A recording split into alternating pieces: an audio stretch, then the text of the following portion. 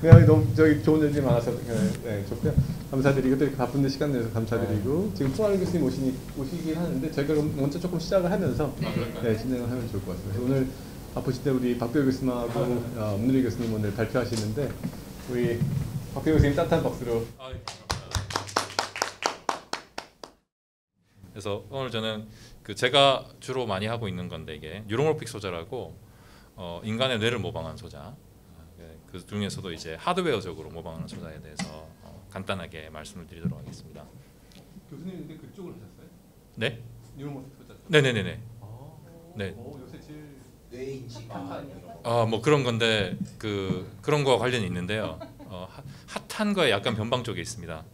제가 보여드리도록 하겠습니다. 교수님 뭐 모르고 예. 아 제가 그동안 너무 너무 감추고 살았군요. 그 이게 서울대나 뭐 카이스트, 뭐 유니스트 이렇게 되면 다 유명하니까 잘 아는데 건국대 잘 모르시는 분들이 많더라고요. 저도 사실은 1999년도에 건국대 처음 가봤어요. 그때 이제 물리학회가 그 건국대학교에 있어서 저는 압구정동에 사는데도 불구하고 그 다리만 건너면 건대인데 처음 가봤어요. 그래서 어 이런 데 좋은 학교가 있구나라고 딱 생각하고 있었는데 그 뒤에 이제 2년 뒤에 건대로 왔는데 건대가 지금 이렇게 동북권에 아주 핫한 데로도 오르고 있고요. 건대 안에 호수가 있습니다.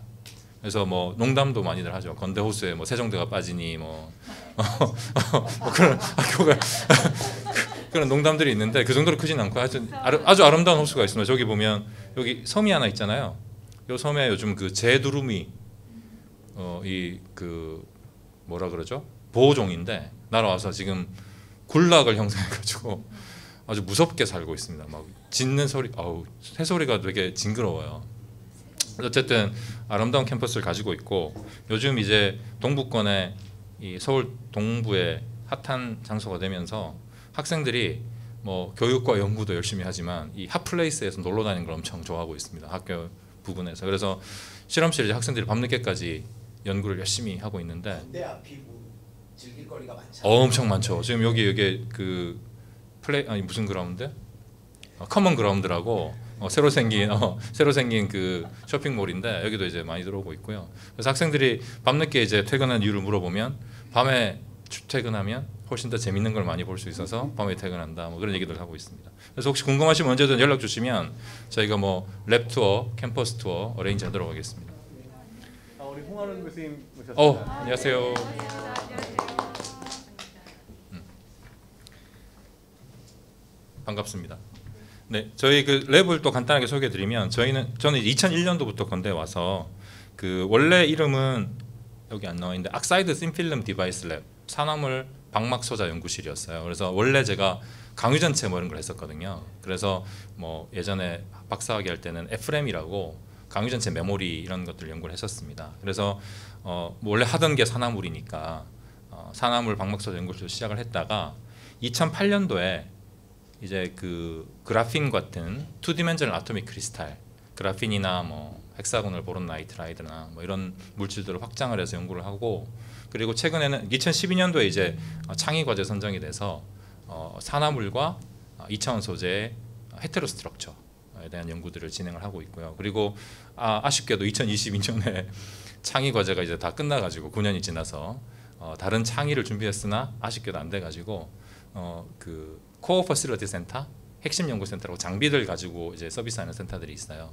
그걸로 선정돼서 이제 6년 동안 또 어, 진행을 할 수 있게 됐습니다. 그래서 이런 장비들을 많이들 보유하고 있어서 관련 연구하시는 분들은 오셔서 어, 쓰실 수 있도록 개방을 해놨으니까 언제든지 contact해 주시면 되겠습니다. 그래서 본격적으로 내용을 말씀드리면 이제 neuromorphic 시스템에 대해서 간단히 설명드릴 텐데요. neuromorphic 시스템이 그러니까 인간의 뇌 기능을 모사하는 시스템 이라고 합니다. 그래서 이제 인간의 뇌의 어떤 효율적인 어, 인지 시스템을 모방해서 어, 컴퓨터나 이런 걸로 이제 구현해 보자 하는 것이 neuromorphic 시스템인데 어, 뉴럴픽 시스템을 이해, 이해 하기 위해서는 이제 인간의 뇌가 어떤 식으로 인지하는지 어떻게 효율적인지를 어, 잠깐 보는 게 어, 도움이 됩니다. 그래서 보시면 지금 우리가 이제 예를 들면 어떤 요게 이제 강아지 이미지라는 걸 알고 있고 요게 이제 안경이라는 이미지를 알고 있는데 오른쪽에 보시는 안경 쓴 강아지라는 이미지를 주면 어, 컴퓨터로는 컴퓨터로는 이게 강아지인지 안경인지 잘 구별을 못하는 경우가 많습니다. 왜냐하면 이미 달라져 패턴이 달라져 있기 때문에. 그런데 우리는 이게 강아지고 이게 안경이라는 걸 알고 있으면 어떤 전체가 바뀌어도 그 안에 들어있는 안경을 다시 안경이라고 할 수 있고 강아지라고 할 수 있죠. 그래서 우리는 안경 쓴 강아지라는 것을 어, 쉽게 파악할 수 있습니다. 그래서 우리는 그 어떤 이미지를 인지할 때 그 변화되지 않는 데이터를 저장을 해서 그 데이터가 혹시 다른 데 어디서 일부러 보이더라도 그 일부에서 그걸 파악해낼 수 있는 어, 그런 어, 효율적인 인지 시스템을 가지고 있습니다. 또 예를 들면 구분하실 수 있나요? 누군지? 우리는 구분할 수 있죠. 왼쪽은 박지성, 오른쪽은 유해진인데 외국 사람들 보여주면 다 다 모르. 그러니까 예를 들면 유, 그 영국에서 이 뛰었던 박지성 선수 잘 알고 있는 사람들도 요 사진 이렇게 보여주면 잘 몰라요. 그런데 왼쪽에 있는 사람은 축구 선수고 오른쪽에 있는 사람은 배우다라는 정보를 더 추가적으로 주면 더 쉽게 인지를 할 수 있습니다. 그래서 우리는 어떤 인지를 할 때 한 하나의 사실만 가지고 인지를 하는 것이 아니라 연관되어 있는 정보들을 가지고 어, 함께 조합을 해서 인지를 하는 그런 또 특성들을 가지고 있습니다.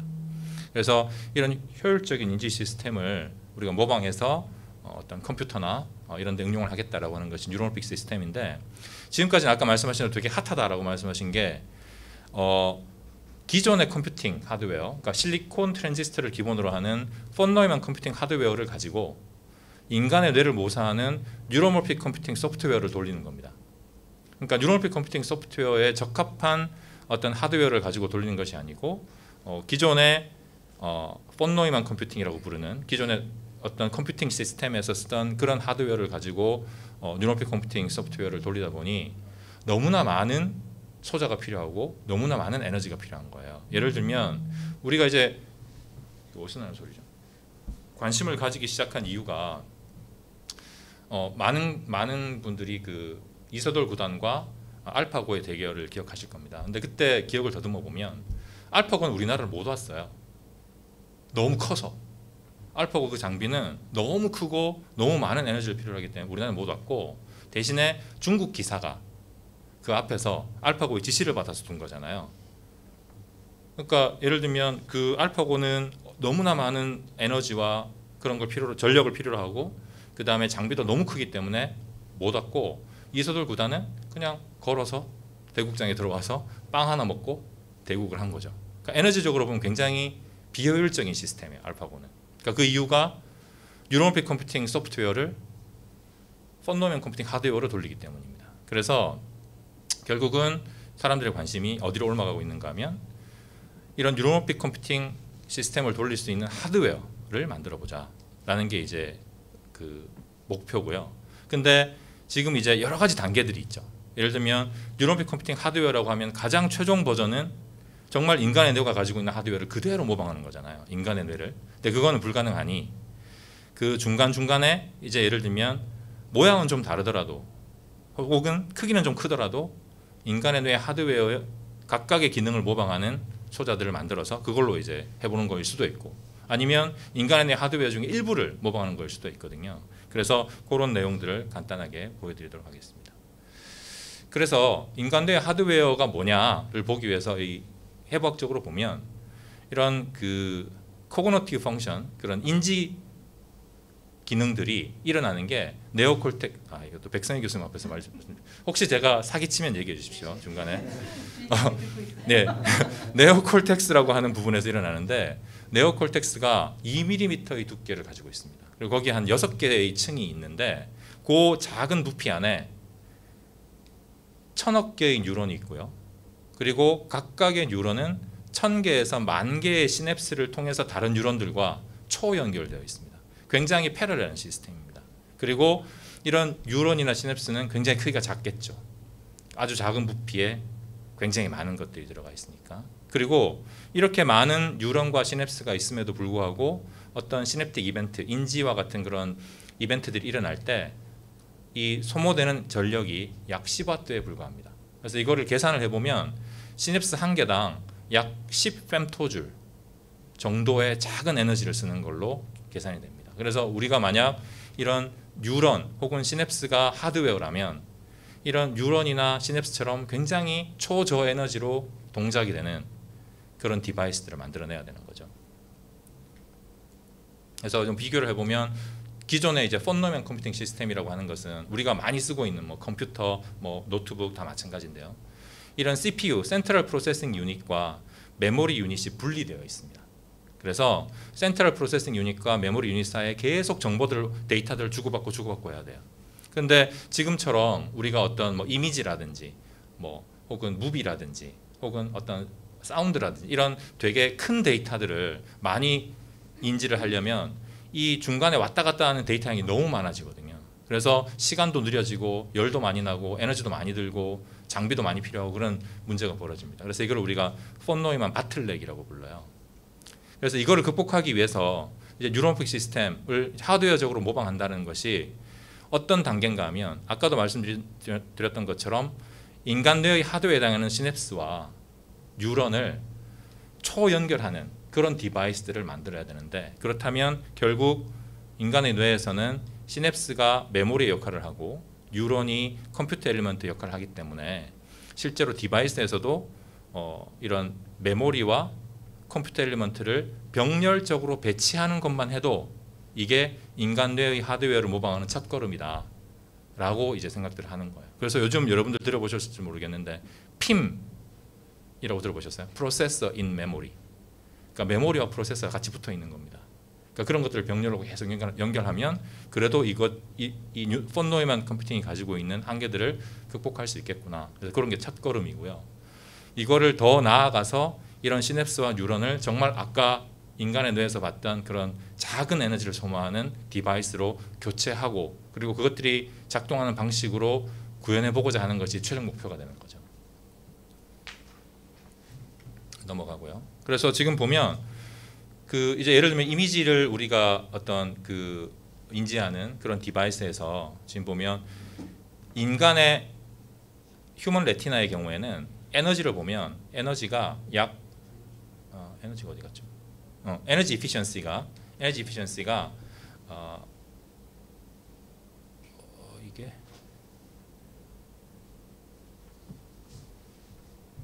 휴먼 레티나 에너지 이피션시 정확하게 안 나와. 스루폰만 나와 있고. 자, 지금 보시면 지금 그 현재 가지고 있는 현재 가지고 있는 그 CPU나 CPU가 이 빨간색이고요.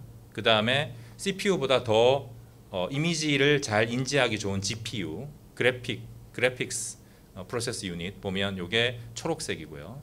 그리고 이것들보다 더 에너지를 적게 쓴다고 알려져 있는 neuromorphic process IBM에서 개발한 TrueNorth인데요. 그게 여기 K입니다. 그래서 지금 보시면 요 CPU에서 GPU 그 다음에 neuromorphic으로 갈수록 점점 점점 사용하는 에너지가 줄어들고는 있어요. 그래서 그 neuromorphic process IBM TrueNorth의 경우에 약 어, 6.7 nanojoule per bit. 그러니까 한 bit당 6.7 nanojoule을 소모하는 걸로 알려져 있습니다. 근데 아까 말씀드린 것처럼 인간의 시냅스의 경우에는 10 femtojoule 정도로 훨씬 더 낮은 에너지를 소모하고 있기 때문에 지금 지금 수준에서 가장 좋은 프로세서 프로세서의 경우에도 약 한 10의 4승, 5승 정도만큼의 에너지만큼을 줄여야 됩니다. 그래서 그런 작은 에너지로 동작할 수 있는 device를 개발하는 게 가장 핵심이 되겠습니다. 그래서 synaptic device를 먼저 보시면 인간의 뇌에서 시냅스는 어, 정보가 전달되는 뉴런과 뉴런 사이에 정보를 전달하는 어떤 통로의 역할을 합니다. 시냅스는 통로 역할을 하는데 이게 어, 떤 특정한 통로로서의 연결 강도를 가지고 있어요. 그리고 이 연결 강도는 뉴런에서 주어지는 pre neuron 혹은 post neuron에서 주어지는 자극에 의해서 이 통로의 연결 강도가 달라질 수 있습니다. 그래서 어떤 통로는 연결 강도가 낮아서 인풋이 들어와도 잘 안 보내고 어떤 통로는 연결 강도가 높아서 인풋이 들어왔을 때 굉장히 잘 보낼 수 있는 그리고 그 연결 강도를 조절하는 것이 학습입니다. 그래서 오늘도 이제 예를 들면 여러분들이 요 톡을 듣고 나면 여러분들의 뇌에 있는 많은 시냅스들이 있잖아요. 그 시냅스의 연결 강도가 달라져 있을 겁니다. 왜냐하면 제가 어떤 정보를 드렸기 때문에 그 정보로 인해서 그 여러분들의 뇌에 있는 시냅스의 맵이 달라져 있는 거죠. 어느 부분은 강도가 높아져 있을 것이고 어느 부분은 강도가 낮아져 있을 것이고 그래서 그런 강도가 높고 낮은 이런 어, 패턴의 변화 이게 학습입니다. 인간의 뇌에서는 그래서 우리도 만약 이런 시냅스를 모방하는 device를 만든다면 그런 device는 외부 자극에 의해서 연결 강도가 변하는 전기적 신호를 따지면 연결 강도는 저항이니까 저항이 변화하는 그런 device들을 만들 수 있어야 됩니다. 그래서 이제 이런 시냅스를 만들기 위해서는 시냅스들이 어떤 특성을 가지고 있는지를 보고 그 시냅스가 가지고 있는 특성을 모방해야 되니까 시냅스의 가장 큰 중요한 특성은 외부 자극에 의해서 저항이 변화하는 그걸 우리가 plasticity라고 부르는데 그 가소성을 모방해야 되고 가소성은 여러 가지가 있습니다. short-term synaptic plasticity, long-term potentiation, 이런 것들이 있는데 이걸 자세히 들여다보기보다는 결국 외부에서 주어진 자극의 종류에 따라서 강도가 어, 세진 혹은 세지거나 약해지는 것이 얼마나 오래 가느냐 그리고 그것이 예를 들면 외부에서 주어진 자극이 어떤 형태로 주어졌을 때 그 자극이 더 어, 그 자극이 더 더 큰 효과를 낼 것이냐 그런 것들을 이제 결정할 수가 있고요. 그래서 결국은 우리가 시냅스를 만든다라고 하면 외부에서 자극을 주었을 때 short-term plasticity, long-term potentiation, long-term depression, spike time dependent plasticity와 같은 것들을 모사할 수 있어야 됩니다. device를 가지고. 그래서 실제로 이런 device를 만들어 보려고 사람들이 기존의 실리콘 트랜지스터 가지고 만들어 봤어요. 만들어 봤는데 그게 SRAM이라고 하는 device가 있습니다. 실리콘 트랜지스터로 구성된 실리콘 트랜지스터 8개로 구성된 device가 있는데 이 SRAM이라는 device로 synaptic property를 모사할 수는 있어요. 예를 들면 외부에서 자극이 주어졌을 때 그 자극에 의해서 저항을 변화시킬 수는 있습니다. 근데 그 저항 변화가 실제의 시냅스처럼 아날로그적으로 변하는 것은 아니고 SRAM의 경우는 디지털적으로 변합니다. 0과 1밖에 없습니다. 그래서 0과 1로 변할 수 있는데 문제는 이런 식의 SRAM 기반의 시냅스를 만들면 하나의 시냅스를 만들기 위해서 8개의 트랜지스터가 필요합니다. 그러니까 엄청 큰 거죠, 일단. 크기가 크고 에너지를 많이 소모하게 돼요. 그리고 아까 말씀드린 것처럼 정보를 아날로그로 저장하는 것이 아니라 디지털로 저장할 수밖에 없습니다. 그러면 여러 개의 state를 저장해야 많은 정보를 저장할 수 있는데 0과 1밖에 없기 때문에 정, 저장할 수 있는 정보의 양도 작아지고요. 그래서 이제 사람들이 이걸 극복하려고 생각하는 것 중에 하나가 memristor라는 새로운 소자입니다. memristor는 말 그대로 메모리와 resistor의 합성어예요. 그러니까 저항인데 기억하는 저항입니다. 뭐를 기억하느냐? 이전에 이전에 그 device에 들어왔던 자극을 기억하는 겁니다. 그래서 예를 들면 이 device 예를 들면 어떤 뭐 어떤 memristor의 경우에는 굉장히 강한 플러스 전압이 걸렸었다라고 하면 저항이 줄어들어 있고 굉장히 강한 마이너스 전압이 걸렸었다 하면 저항이 커져 있습니다. 근데 그게 외부에서 자극이 끊어져도 그 정보를 유지하는 거죠. 그래서 그런 그런 device를 우리가 memristor라고 부르는데 맵리스트는 종류가 굉장히 다양합니다. 그러니까 이런 특성이 나타나는 경우는 한두 물질이 아니라 굉장히 여러 가지 물질들이 있어요. 예를 들면 맵리스트의 그 어떤 어, 원리가 여러 가지가 있는데 그 중에서도 이온 이동 기반, 그러니까 시냅스도 사실은 이온 이동에 기반하고 있기 때문에 시냅스를 좀 더 모사하기 위해서 우리가 이온 이동 기반 시냅스를 만들 수가 있는데 이온 이동 기반의 맵리스트만 보더라도 종류가 이렇게 많습니다. 네 가지가 있습니다. 예를 들면 양이온 이동 기반 memristor가 있고 음이온 이동 기반 memristor가 있고 강유전체 memristor가 있고 그 다음에 3단자 기반 memristor가 있습니다. 그래서 굉장히 다양한 종류의 물질들이 memristor적인 특성을 보이고 있고 그 다음에 시냅스 소자 같은 특성을 보이고 있는데 다 특성이 약간씩은 달라요. 예를 들면 양이온 이동 기반 전도성 경로 시냅스 소자의 경우에는 구조가 굉장히 간단합니다. metal, insulator, metal 구조를 가지고 있습니다. 그리고 insulator는 이제 electrolyte 전해질이죠. 그래서 그리고 이 위에 있는 metal은 어, 반응성이 좋은 메탈. 예를 들면 silver나 copper나 니켈 같은 metal이고 밑에 있는 metal은 noble metal. 그래서 platinum이나 gold 같은 noble metal입니다. 그래서 이런 경우에 외부에서 위에 있는 전극에 플러스 전압을 걸어주면 이 활, 활성화 잘 되는 이 전극은 플러스 전압을 걸어주면 산화가 되기 쉽습니다. 그래서 전자를 잃어버리고 플러스 전압을 걸어주면 전자를 잃어버리고 이온으로 변해요. 예를 들면 실버 전극이라면 실버 전극에 플러스 전압을 걸어주면 전자를 잃어버리고 실버 플러스 이온이 되면서 그 실버 플러스 이온들이 안으로 들어가게 됩니다. electrolyte 안으로. 그래서 이게 점점 점점 이동을 하다 보면 반대쪽 마이너스 전극에서 전자가 공급이 되어서 공급된 전자들이 화, 이 실버 이온을 환원시켜서 중간에 이 실버 이온들이 어떤 경로를 형성하게 만들어져요. silver metal로 석출되어서. 그래서 이런 경로들이 어떤 conducting filament가 되면서 갑자기 전류가 증가해 버리는 거죠. 저항이 줄어드는 거죠. 그래서 이런 식으로 이제 양이온의 이동을 이용한 시냅스도 있을 수 있고 그럼 여기서 이제 electrolyte가 문제인데 electrolyte는 여러 가지 산화물 혹은 여러 가지 two-dimensional material 뭐 다양한 고체들이 electrolyte가 될 수가 있습니다. 그래서 그 electrolyte의 종류가 뭐냐에 따라서 특성이 달라지고요. 마찬가지로 움직이는 물 움직이는 ion이 음이온일 수도 있습니다.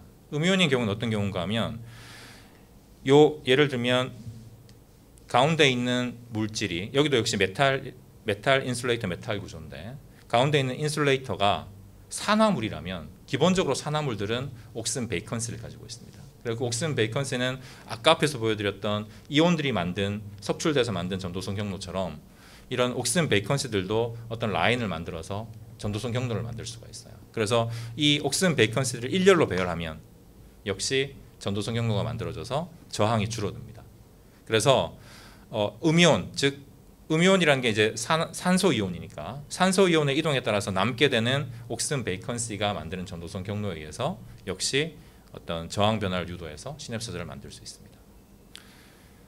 즉, 위에서 보여드린 예를 들면 이런 양이온 이동에 의한 시냅스 소자, 그 다음에 밑에서 보여드린 음이온 이동에 의한 시냅스 소자는 둘 다 특징이 전도성 경로를 만들어야 됩니다. 그러면 전도성 경로를 만들 때 중간에 그냥 만든 경우보다는 얘들이 top electrode와 bottom electrode를 연결했을 때가 저항이 가장 작을 거잖아요. 그래서 급격한 저항 변화가 일어납니다. 이런 전도성 경로를 이용하는 소자의 경우에는. 그래서 다른 특징들은 다 좋은데 특성들은 다 좋은데 이런 급격한 특성은 시냅스 특성과는 좀 달라요. 왜냐하면 biological 시냅스는 외부에서 자극이 주어졌을 때 점진적으로 저항이 변하거든요. 근데 지금 이런 양이온 이동 혹은 음이온 이동에 의해서 만들어진 전- 전도성 경로 소자는 급진적인 어느 어느 포인트에서 급진적인 저항 변화가 일어나기 때문에 이걸 줄여주는 것이 굉장히 큰 목표입니다. 시냅스와 유사하게 만들기 위해서는.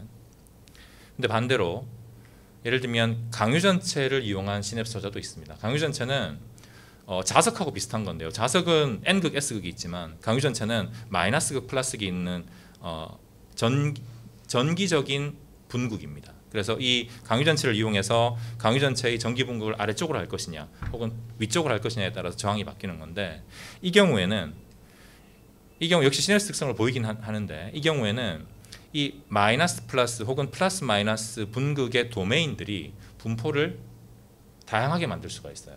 그래서 이게 점진적으로 예를 들면 도메인의 비율을 100대 0으로 할 수도 있지만 50대 50으로 할 수도 있고 반대로 0대 100으로 할 수도 있거든요. 그래서 이 도메인의 비율에 따라서 저항이 보시는 것처럼 점진적으로 변화할 수가 있습니다. 저항이 이렇게 점진적으로 변화할 수가 있습니다.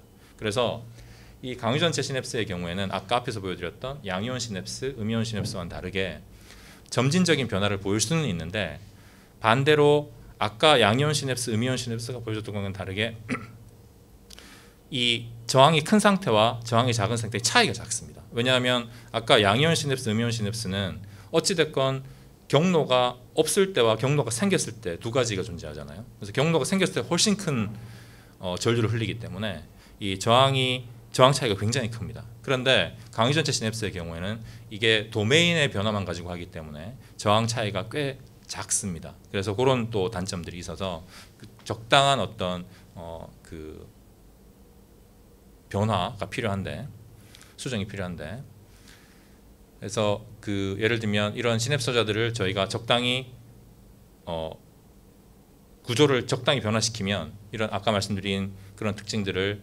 단점들을 극복할 수 있는데 그건 제가 좀 이따가 다시 저희 연구실에서 한 연구 결과 좀 말씀드릴 거고요. 그 다음에 요 3단자 트랜지스터는 구조가 약간 달라서 skip하도록 하겠습니다. 자, 그 다음에 이런 시냅스 소자를 이용해서 그 이런 array를 만들 수가 있어요. 말씀드린 대로 시냅스 소자를 예를 들면 지금 4x4 어레이로 만들었고 그 다음에 시냅스 소자의 어, 한쪽에 뉴런, 인풋 뉴런, 그다음 반대쪽에 아웃풋 뉴런을 달아서 어떤 인풋을 줬을 때 아웃풋들을 읽어낼 수가 있습니다. 그리고 이 중간 연결되어 있는 시냅스들을 학습시킬 수가 있는데 예를 들면 어, 이런 이런 것도 가능합니다. 예를 들면 그 외부에서 외부에서 어떤 지금 이런 패턴을 주는 거죠.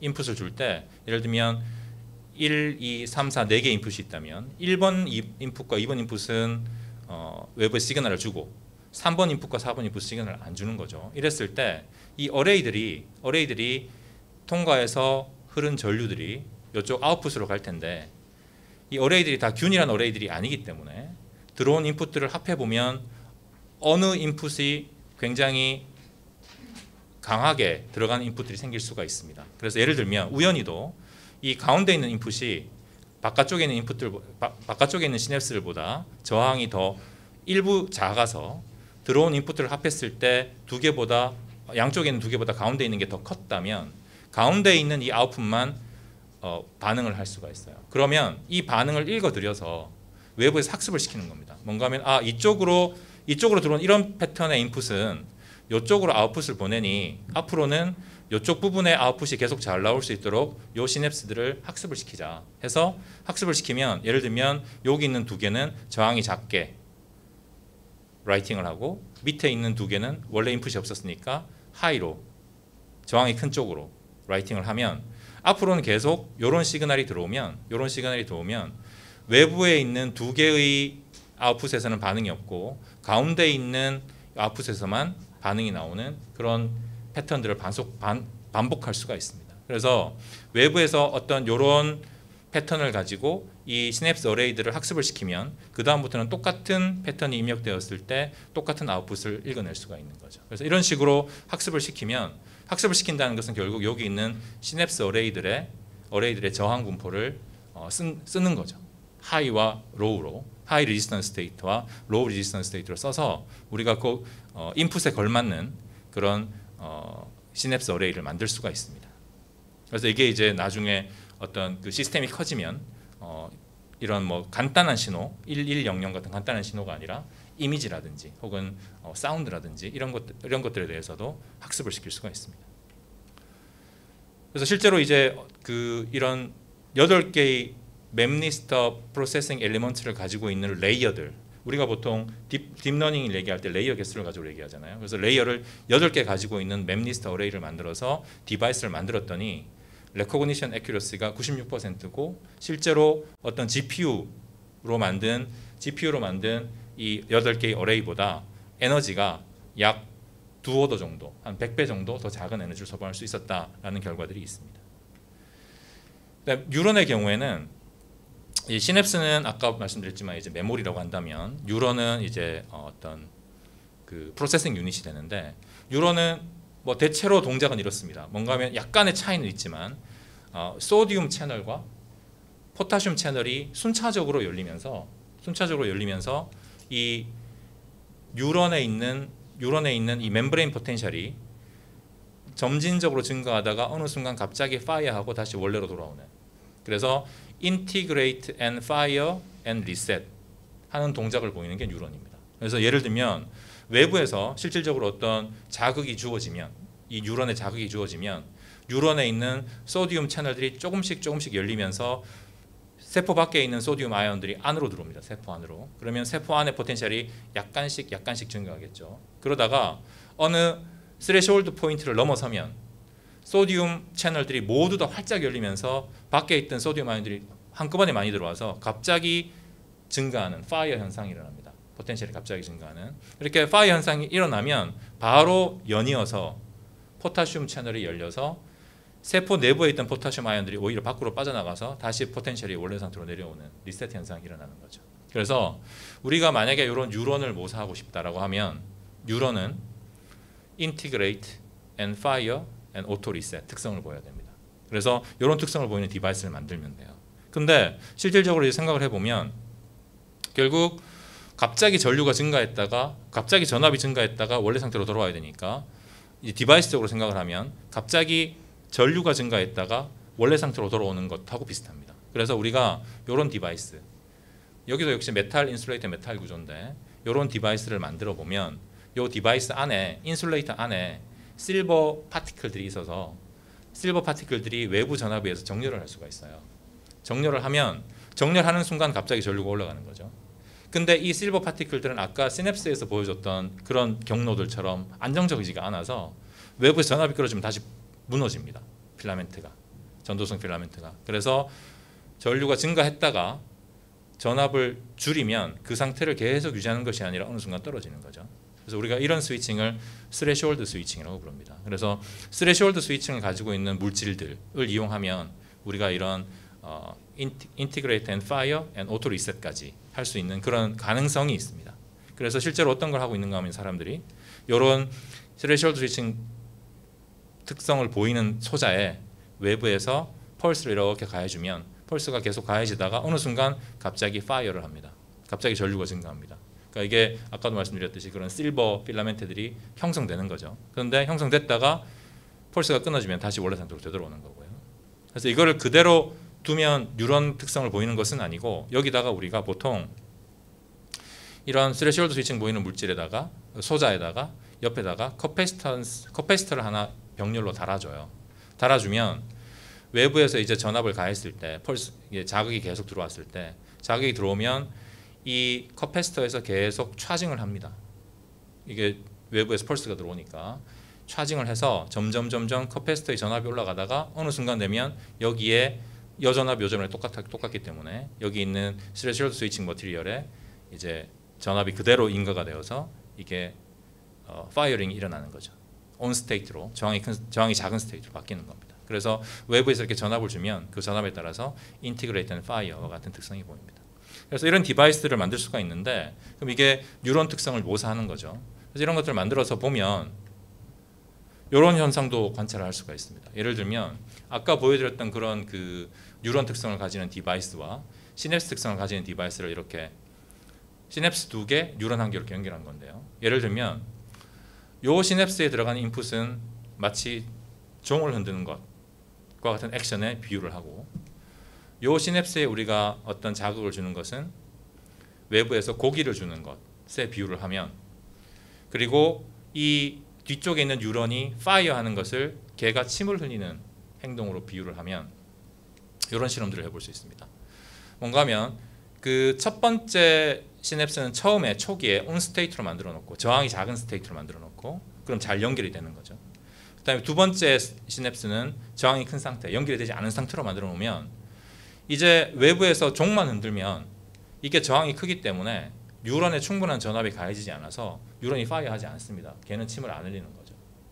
근데 반대로 지금 이 첫 번째 시냅스에 우리가 자극을 주면 첫 번째 시냅스는 on 상태로 만들 저항이 작은 상태로 만들어 놨기 때문에 이 첫 번째 시냅스에 자극을 주면 이 자극이 그대로 뉴런에 전달이 되어서 뉴런이 fire를 합니다.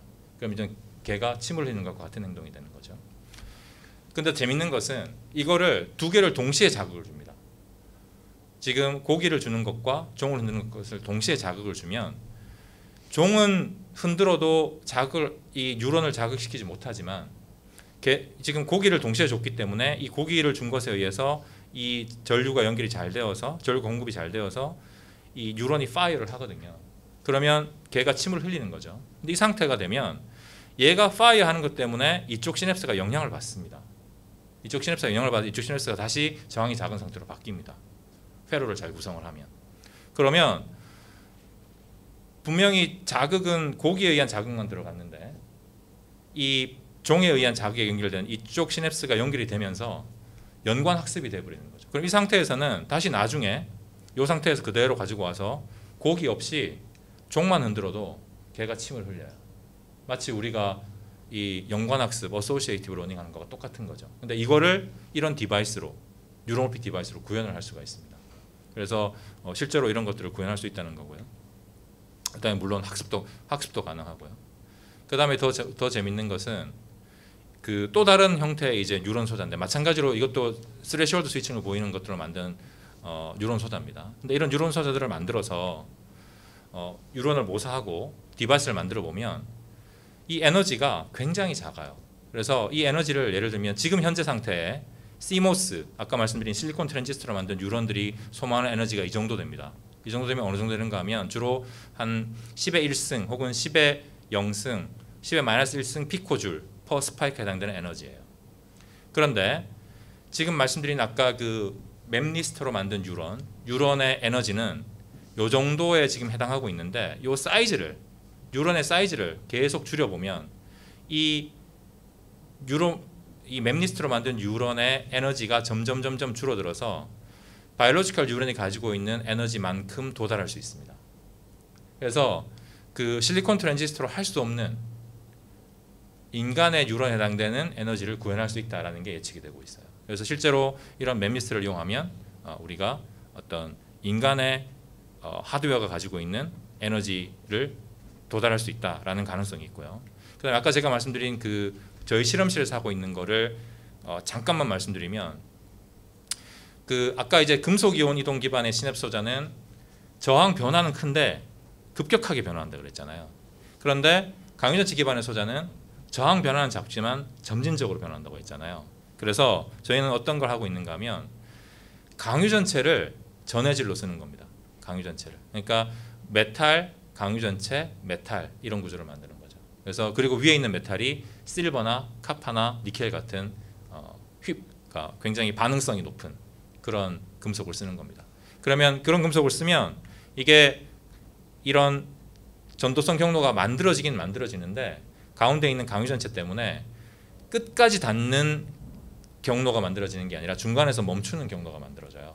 그러면 중간에서 멈추는 경로가 만들어지면 아까처럼 급 급진적인 변화는 일어나지 않고 급격한 변화는 일어나지 않고 점진적인 변화가 일어나지만 on-off ratio 아, 저항 변화는 큽니다.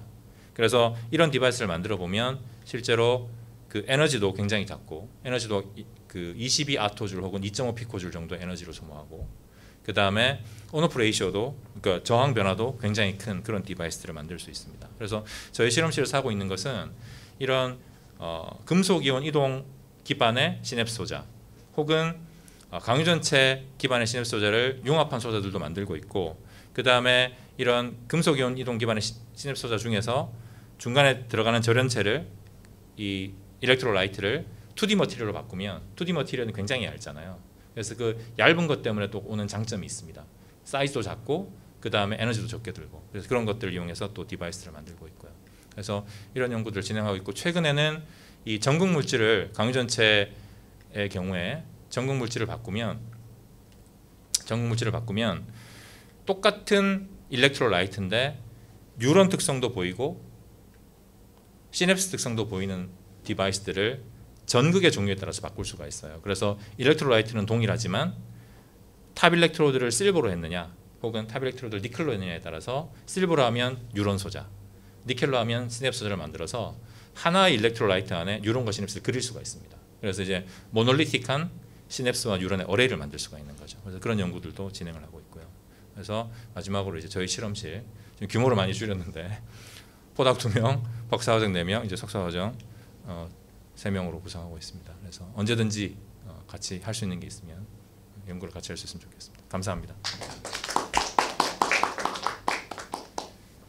언제쯤 그 소자들이 수백억 개, 뭐 수조 개가 모여야 뇌하고 비슷한 functionality를 할 그쵸. 텐데 그러니까 이게, 그 정도 네. 집적도를 하는 게 언제쯤 돼야 가능? 그러니까 지금 사실은 집적도 자체만 따지면 이 memristor 가지고 만들 수는 있어요. 집적도는 만들 수 있는데 이제 문제가 뭔가하면 제가 여기서 말씀을 안 드렸는데 그 인간의 뇌가 작동하는 그 메커니즘이 있을 거 아니에요.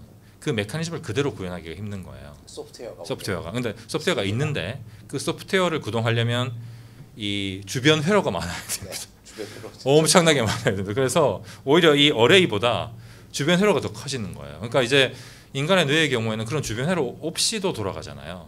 그래서 결국은 인간의 뇌로 가려면 그 주변 회로 없이도 돌아가는 방법을 찾아야 되는데 그게 아직 부재하고요. 그래서 이제 제가 말씀드린 게 지금 그 연구의 요, 요쪽 분야 연구의 이제 첫 단계는 PIM, processor in memory로 접근하는 거예요. 그러니까 이제 그 어, 이 주변 회로를 줄일 수 없다면 주변 회로는 그대로 두고 현재 폰 노이만 computing 시스템이 가지고 있는 가장 큰 문제 그 폰 노이만 bottleneck만 해결하자 먼저 이거 가지고 그래서 어, 요건 시냅스 array 만들어서 시냅스 array와 어, 트랜지스터를 어, 그러니까 뉴런을 이런 어떤 하나의 세트로 만들면 그 세트들을 계속 병렬로 배치를 하는 겁니다.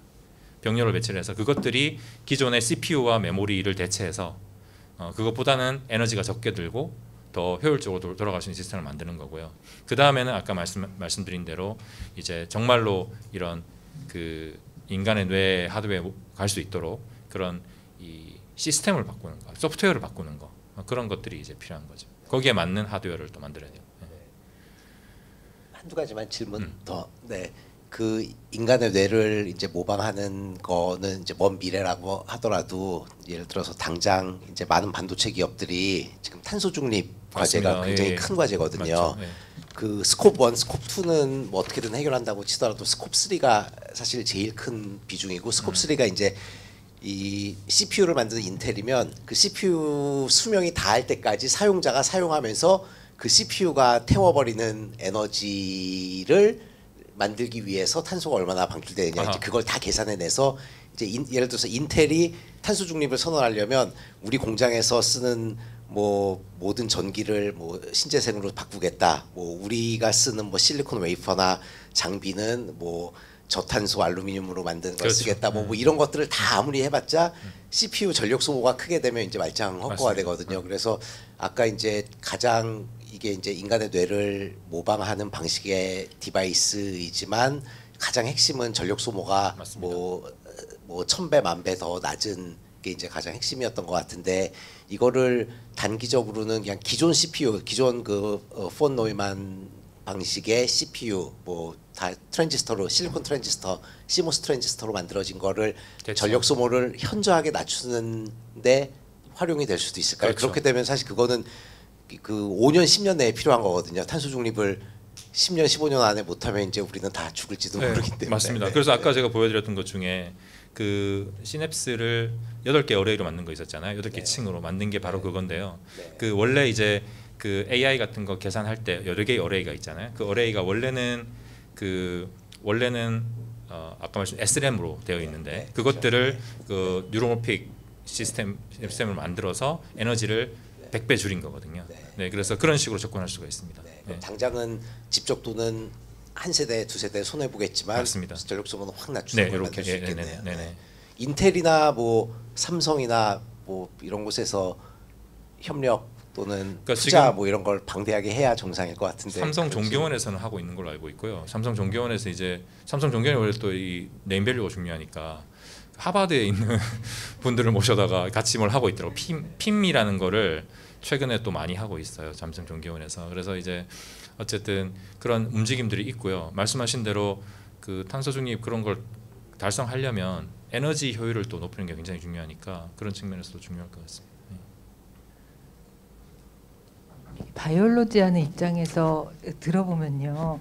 사실 이 시냅스를 이렇게 모방할 수 있다는 건 엄청난 일이거든요. 이 복잡한 걸 어떻게 저렇게 만드시고 모방했다고 하는 거지?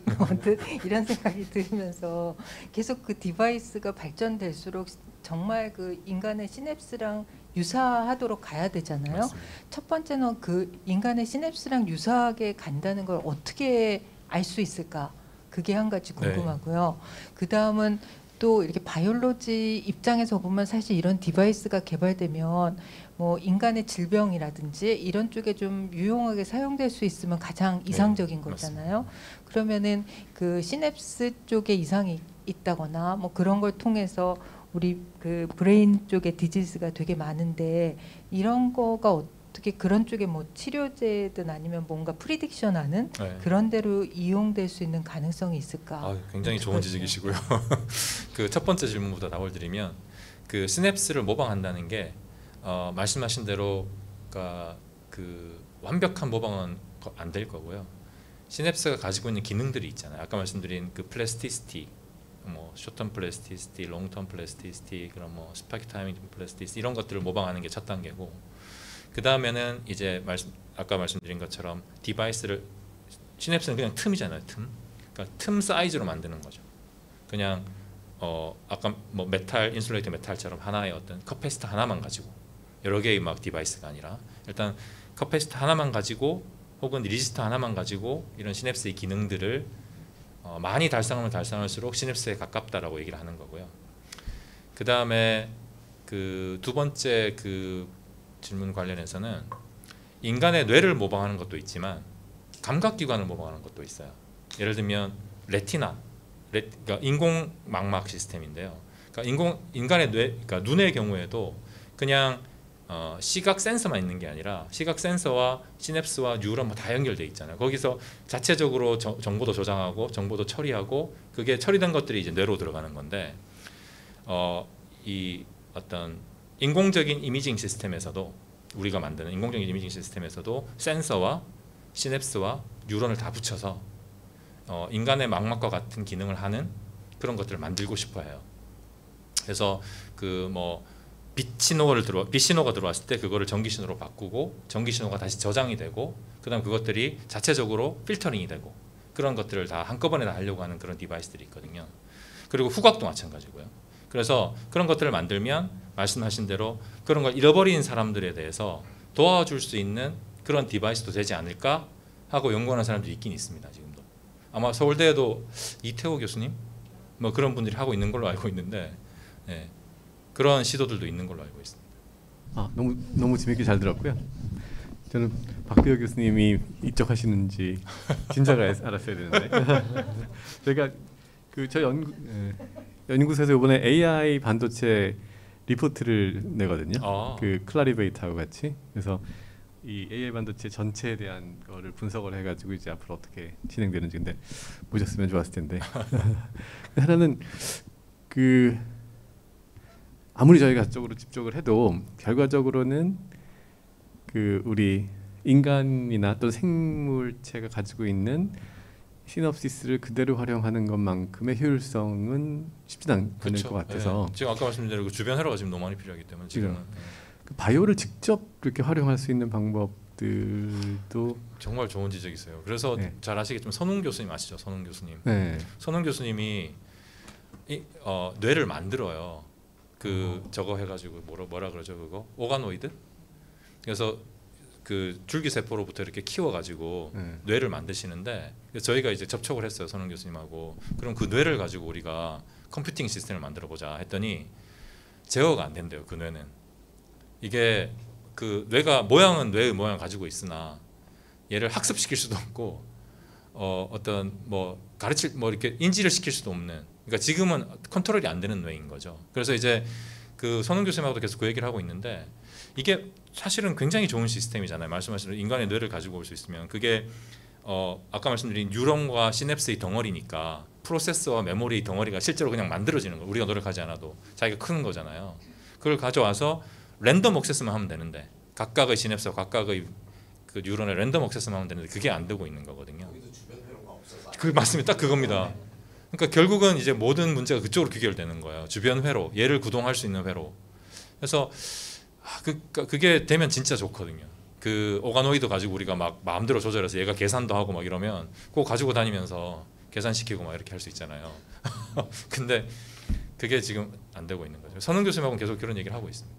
그럼 이제 로봇인데 인간의 뇌가 있는 뭐 그러니까 예, 그게 음. 참 제일 이상적인데 컨트롤이 안 되니까. 아, 네네.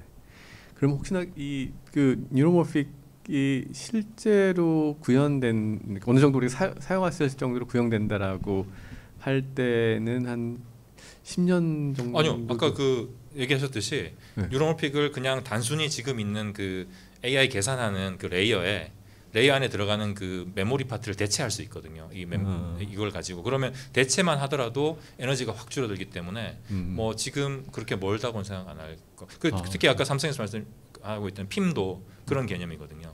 processing 음. memory도. 에너지를 줄이는 목적 말고 실제로 뇌가 인지하고 생각하고 결론을 내는 방식을 흉내 내서 더 효율적인 뭐 퀀텀 컴퓨팅 이제 하는 거고 말씀하신 대로 인간의 그 어, 사유하는 메커니즘 그거를 근데 병에서 연구가 돼야 되겠죠 그쪽에서도 그 생, 생리학인가요? 하여튼 뭐 그쪽에서 예. 네. 또 혹시 질문? 네. 아 오늘 아주 재밌는, 네, 너무 재밌는 내용 아, 아주 감사합니다. 잘 감사합니다. 우리 박병 교수님께 예. 따뜻한 박수로. 네. 네, 감사합니다. 그럼 진짜 오랫동안 기다렸는데 저 우리 문내리 교수님 너무 듣고 싶었는데 오늘 드디어 모시게 돼서 우리 아, 아주 이런 귀한 기회에 우리 따뜻한 박수 우리 문내리 교수님. 아, 네. 오늘 그 발표 준비하면서 너무 고민이 많이 되더라고요. 어떤 걸 어떻게 발표를 드려야 될지 근데 박배우 교수님 뒤에 하다 보니까 물리보단 늘 화학이 더 쉬우니까 좀 더 캐주얼하게 네 그렇게 말씀을 드리도록 하겠습니다. 어 제가 이제 그 화학과에 있고요. 화학과에서 이제 박사 학위를 했는데 그 안에서도 제가 한 거는 무기화학입니다. 그래서 무기화학이라는 게 어떻게 보면 유기화학의 이제 반대라고도 얘기할 수 있지만 어쨌든 대부분은 금속을 다루는 그런 그 연구를 하고 있고요. 금속 이온과 그리고 유기물 간의 그 결합 을 배위 결합이라고 하는데 어 제가 하는 연구는 그 배위 결합에 기반한 그런 그 물질을 만드는 연구를 하고 있습니다. 그 처음에 그 제가 무기화학을 시작하게 된 건 여기 앞에 그 제일 첫 페이지에 보시는 것처럼 제가 하는 연구는 기본적으로 결정을 기르는 연구를 하거든요. 크리스탈을 기르는 연구를 합니다. 그래서 어 학부 때 이제 연구실에 들어가서 이렇게 결정을 기르고 나서 현미경을 봤더니 진짜 정말 너무너무 아름답다는 생각을 했어요. 그러니까 정말 몇 시간을 이렇게 들여다봐도 지겹지 않을 정도로 그렇게 아름다운 결정을 내 손으로 만들 수 있다라는 게 가장 큰 그 저한테는 모티베이션이었었고요. 그래서 이제 그 아름다움에 도취가 돼서 시작을 했는데 이제 지금은 그런 다양한 기능성에 대해서도 연구를 하고 있습니다. 그래서 제가 오늘 그 말씀드리고자 하는 건 보시다시피 이제 그 다공성 재료 가 제 연구의 키워드인데 그 중에서도 제가 하고 있는 연구는 금속 유기 골격체 metal organic framework이라는 것이 이제 제 주된 연구 테마가 되겠습니다. 그래서 다공성 소재의 그런 history부터 조금 시작해서 제가 하고 있는 연구까지 말씀을 드리도록 하겠습니다. 기본적으로 어떻게 보면 metal organic framework이라는 이런 이 분야는 그렇게 오래지 않은 그 역사가 그렇게 오래되지 않은 학문 분야이고요. 그래서 오늘 보여드리고 싶은 거는 이 학문이 어떻게 시작이 되어서 어떻게 발전되어 왔고 지금 어디까지 왔고 어디까지 갈 수 있을지에 대해서 말씀을 드리도록 하겠습니다. 어, 포러스 머티리얼이라고 하면 어, 가장 이거는 뭐 기원 전부터 이제 있어 왔던 물질인데요. 기존에는 이제 자연적으로 얻었겠죠. 자연적으로 얻은 우리가 가장 지금도 많이 쓰고 있는 시커멓게 보이시는 이건 숯입니다. 숯. 네, 숯. 그러니까 나무를 태워서 얻어내는 그 숯이 다공성 재료인 거죠. 그래서 이제 과거에는 이 숯이 어 굉장히 이렇게 다양하게 우리한테 그 좋은 그 역할을 할 수 있다 해서 뭐 예를 들면 우리가 소화가 안 될 때 소화제로 쓰였다고 합니다. 이거를 잘 갈아가지고 왜냐하면 다공성 이렇게 비어 있는 공간이 있기 때문에 우리 몸 안에 소화가 되지 않고 있는 것이나 나쁜 물질들이 있으면 이 숯이 잡을 거라고 생각한 거죠. 그래서 어떻게 보면 그 아마 집에도 어르신들은 많이 가지고 계실 텐데 왜 집에 보면은 그게 뭐 가습 효과도 있고 독소도 제거한다고 이런 참숯 이런 거 이렇게 많이 집에 두잖아요. 그걸 잘 갈아서 이렇게 먹기도 했다는 거죠. 약처럼 썼다고 합니다. 먹고서 응급실 갔어요. 오 드셨어요? 수술 먹으라 그래가지고. 어머. 진짜 수술 와. 새집 증후군 뭐 이거 아 그렇죠 맞아요 네네 어 그 얘기는 나중에 이따 식사할 때 한번 제- 제대로 듣고 싶은데요 그래서 사실 숯이 마스크에도 들어간다고 왜 숯 마스크도 있고 뭐 온갖 데 많이 쓰이고 있잖아요. 이제 그게 시작인데 이렇게 제가 이번에 하면서 이렇게 보니까 어 이제 어디에도 쓰였냐면 나중에는 이제 그 이제 그 증그 저기 물을 걸러내는데 많이 쓰거든요. 그 이렇게 물 걸르는데도 쓰는데 사실은 여러분들이 그 정수기 중에서 그 필터 써가지고 하는 뭐 브리타 정수기 뭐 이런 거에 보면 필터 꽂는데 그 안에도 이런 그어숯 성분의 그 필터들이 많이 들어가고 있어요. 그 다음에 이제 제가 본 것 중에 재밌었던 거는 어그 이렇게 버번 위스키가 있잖아요. 근데 그거에 좀 특화된 게 그 테네시 위스키라고 있는데 혹시 대표적인 테네시 위스키가 뭔지 아시나요? 예, 맞습니다. 잭 다니엘. 그 잭 다니엘이 실제로 테네시에서 만들어지는데 테네시 위스키의 정의는 뭐냐면 기본적으로는 다 버번 위스키랑 같은데 첫 번째 조건은 테네시에서 만들어져야 하고요. 두 번째 굉장히 중요한 그 조건이 뭐냐 하면 이 숯 단풍나무로 만든 숯에 한 번 걸러야 된다고 합니다. 그 과정을 거치면 그 숯에서 나오는 그 굉장히 오랜 시간에 걸쳐서 걸리기 때문에 그 풍미도 들어가고 그다음 불순물이 그걸 통해서 걸러진다고 해서 그거를 Lincoln County Process라고 하는데 그 Lincoln County Process가 들어가야지만 테네시 위스키로 인정을 해준다고 해요. 그런 식으로 이제 굉장히 옛날부터 이렇게 많이 쓰여 오던 이제 다공성 물질인데요. 이게 좀 이렇게 가다 보면 이게 제올라이트인데 제올라이트는 지금 뭐뭐 1940년대 이때부터는 그 합성 그 제올라이트를 많이 이렇게 쓰지만 그 전엔 실제 natural 제올라이트 그냥 땅 속에서 제올라이트라고 하는 거는 결국은 aluminosilicate거든요. 알루미나에 알루미늄 자리에 실리콘이 몇 개가 이렇게 치환되어 있으면 걔- 걔를 aluminosilicate 제올라이트라고 하는데 아마 제올라이트는 촉매로 어, 쓰이고 있다고 많이 들어보셨을 것 같아요.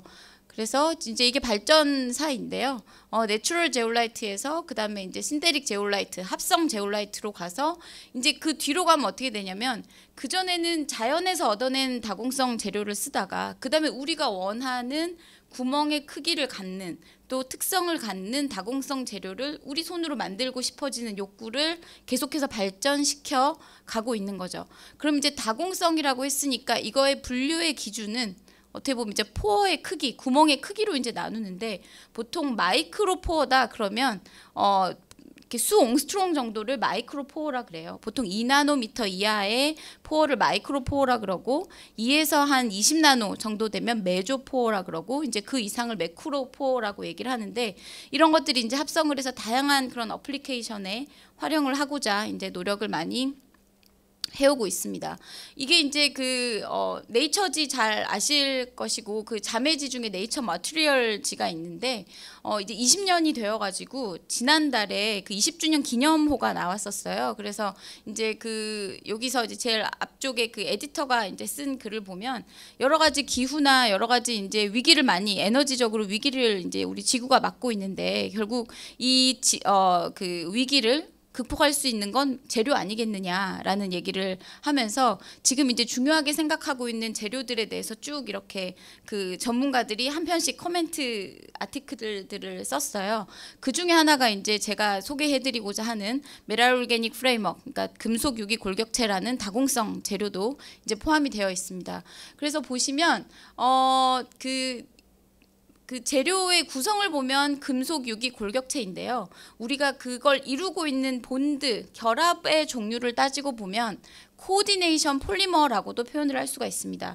그 폴리머는 워낙 주변에서 많이 보시잖아요. 고분자들. 그러니까 어떤 단량체가 있으면 그게 어떤 주기를 가지고 계속 repeating이 되는 걸 고분자라고 얘기하는데 이 metal과 organic이 coordination bonding을 통해서 배위 결합을 통해서 폴리머처럼 쭉 연결이 되어 있다 그래서 coordination polymer라고도 얘기를 하고요. 근데 그걸 다공성을 갖도록 만들어주면 porous coordination polymer 이렇게 어, 이름을 붙이기도 뭐 붙이기도 합니다. 그래서 보시면 이게 금속 이온이에요. 이게 뭐 어, 뭐 이렇게 니켈이 될 수도 있고요. 아니면 망간이 될 수도 있고 코발트가 될 수도 있고요. 그런 차지를 띠는 양이온을 띠는 이제 메탈에다가 이게 유기물인데요. 여기 보면 이제 빨간색 이게 옥시즌이에요. 이 옥시즌이 요 메탈을 잡을 수가 있죠. 여기 보시면 이렇게 브리칭하고 있는 게 보이실 텐데 이 결합을 배위 결합이라고 얘기를 합니다. 그러면 굉장히 그 오래 전부터 그 무기 화학에서는 이런 coordination chemistry에 대해서는 이미 연구가 많이 되어 있었어요. 근데 그때까지는 어떤 그 물질을 가지고 연구를 했냐 하면 이런 이제 oxygen이 metal을 잡을 때 여기 metal들이 쭉 있고 이제 메, 어, 여기 이제 리간드들이 이렇게 bridging을 하면서 coordination을 하는데 여기 보시면 클러스터라는 표현을 쓰죠. 클러스터는 우리나라 말로 이렇게 바꾸면 뭉치 라고 합니다. 뭉치 화합물이라고 하거든요. 그러니까 이게 뭔가 3차원으로 다공성을 가지면서 이렇게 뻗어 나가는 게 아니라 zero dimension. 그냥 zero dimension으로 그냥 여기 덩어리 하나로 그냥 끝나 있는 물질이에요. 그러면 우리가 이제 이거를 이렇게 폴리머로 1차원, 2차원, 3차원으로 이제 그 연장을 extension을 시키려면 우리 디자인의 아이디어는 너무 심플하죠. 여기를 이렇게 막지 말고 반대편에 똑같이 코디네이션 할 수 있는 펑셔널 그룹을 하나 더 달아주면 요 뭉치가 옆으로 또 연결이 되겠죠. 방향성을 가지고 계속 뻗어 나갈 텐데 그게 바로 이제 이런 뻗어 나가면 이런 이제 물질이 됩니다. 그리고 요게 합성할 때 이제 요 안에 어 그 합성할 때 쓰는 뭐 물이라든지 아니면 뭐 유기용매들이 여기 이제 차고 있을 텐데 이걸 제거해 주게 되면 우리는 요 안쪽에 있는 그 동공을 사용을 할 수가 있게 되는 거죠. 그래서 제가 어제 그 유튜브를 찾아보니까 이런 영상이 있더라고요. 여기서 이제 그 파란색이 메탈이거든요. 이 메탈이 이렇게 있으면 처음에 말씀드린 대로 이거는 클러스터 화합물에 지나지 않지만 이 요건 지금 아세테이트인데 요 아세테이트 대신에 다른 한 방향으로 더 연결할 수 있는 유기 리간드를 잘 디자인을 해서 이렇게 착 붙여주면 그 다음부터는 이 똑같은 클러스터가 방향성이 지금 이 클러스터는 여섯 방향으로 뻗어나갈 수 있는 클러스터기 때문에 여섯 방향으로 뻗어나가면 상상할 수 있듯이 cubic shape으로 세 방향으로 계속 이제 뻗어나가게 되겠죠. 그래서 여기 안에 이 pore를 형성을 하게 됩니다. 그러면 이 네, 그래서 보시면 상상할 수 있겠지만 우리가 주기율표를 보면 굉장히 다양한 종류의 금속이 있고 그 금속은 모두 이 metal organic framework를 합성하는 대상이 되는 거죠. 그래서 선택지가 굉장히 넓습니다. 뭐 이렇게 뭐 그 아연만 선택할 수 있는 게 아니라 니켈도 할 수 있고 망가니즈도 할 수 있고 이 다양한 그 금속의 종류에 따라서 coordination의 그 모드가 달라지기 때문에 금속 쪽에서 다양한 선택지가 있고요. 그다음에 유기물에서 우리가 합성할 수 있는 어떤 리간드도 갖다 쓸 수가 있는 거죠. 지금 여기는 두 방향이 있지만 이거를 세 방향 여기 있는 이걸 carboxylate라고 하는데 carboxylate 그룹을 세 방향, 네 방향, 여섯 방향, 열두 방향, 스무 방향으로 합성을 하면 훨씬 더 complex한 그런 어, 구조를 우리가 구현을 해낼 수가 있는 거죠.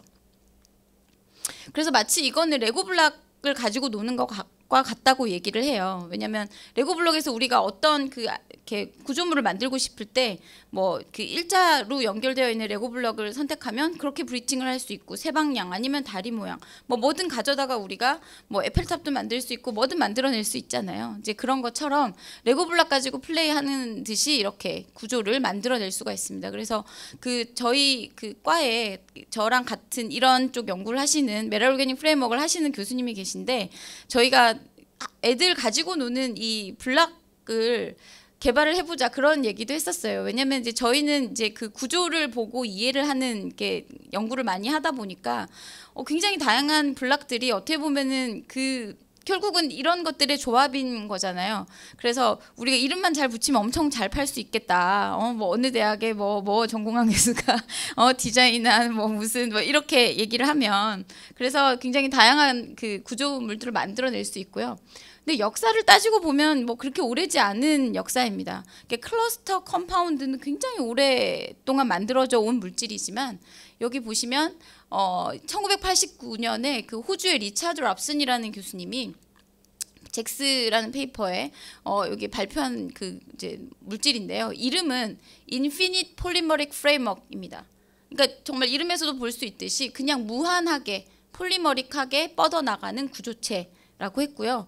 사용한 리간드도 굉장히 다양합니다. 그냥 그 tetrahedral 이렇게 사면체 방향으로 이렇게 뻗어나가는 리간드를 쓰고 거기다가 copper를 딱 이렇게 배위를 시키면 이렇게 diamondoid 그 우리가 그 다이아몬드 네트워크를 만들 수 있듯이 그런 그거를 analog structure를 만들 수가 있습니다. 그런데 어, 여기서 얘기하는 metal organic framework라는 이름을 처음 쓴 사람은 지금 현재 버클리 대학에 있는 UC 버클리에 있는 오마르 야기라는 사람입니다.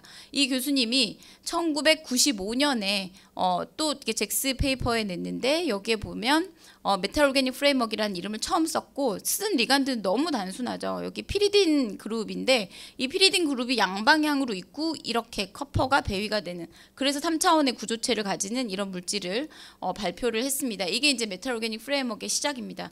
그럼 아까 전에 이제 우리가 비디오로도 보셨지만 굉장히 복잡한 구조들이 3차원으로 이렇게 연결이 되어 가는데 그걸 어떻게 합성을 할 건가 굉장히 복잡한 프로세스가 필요한가 하면 사실은 그렇지가 않습니다. 그냥 여기 그 유리 그 bottle에다가 뭐 소금 같은 거죠.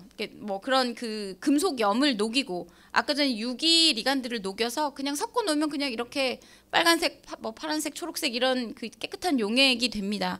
이거를 그 우리 빵 굽는 오븐에다가 이렇게 집어 넣으면 온도가 쭉 이렇게 올라가겠죠.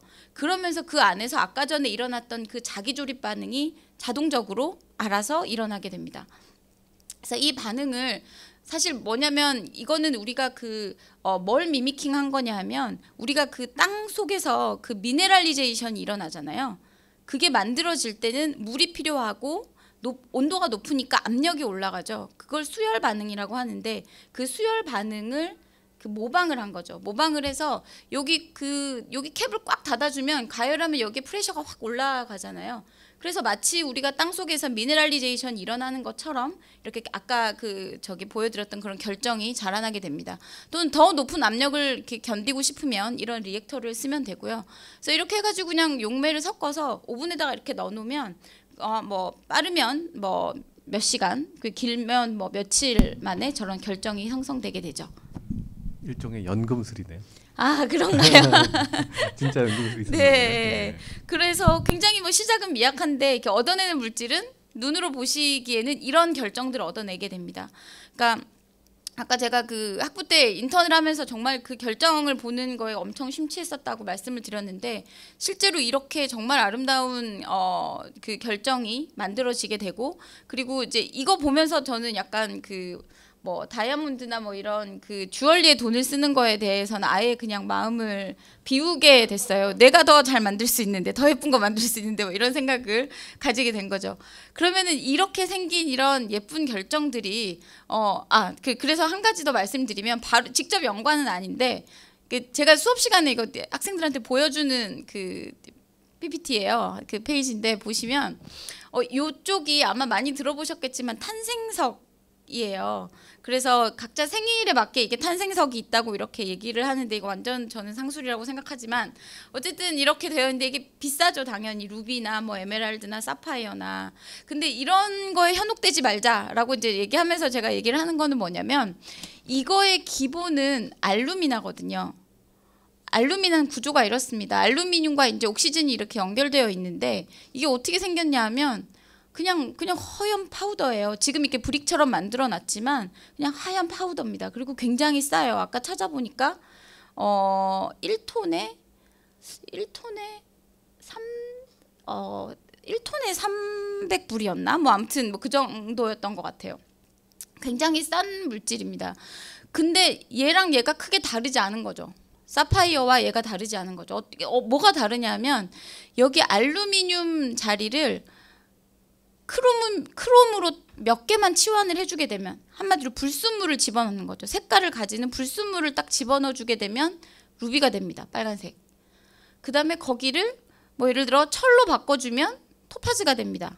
그 다음에 뭐 타이타늄이나 코발트 좀 섞어주면 사파이어가 되고 불순물의 종류와 양을 좀 바꿔주면 왜 사파이어도 왜 색깔이 뭐 청색이 있고 무슨 뭐 자색이 있고 무슨 색이 이렇게 바뀌는 게 결국은 이 불순물을 조금씩 바꿔주면서 바뀌는 거지 이게 뭔가 엄청나게 비싸게 돈을 주고 사야 될 것 같지 않은 그런 물질이라는 거죠.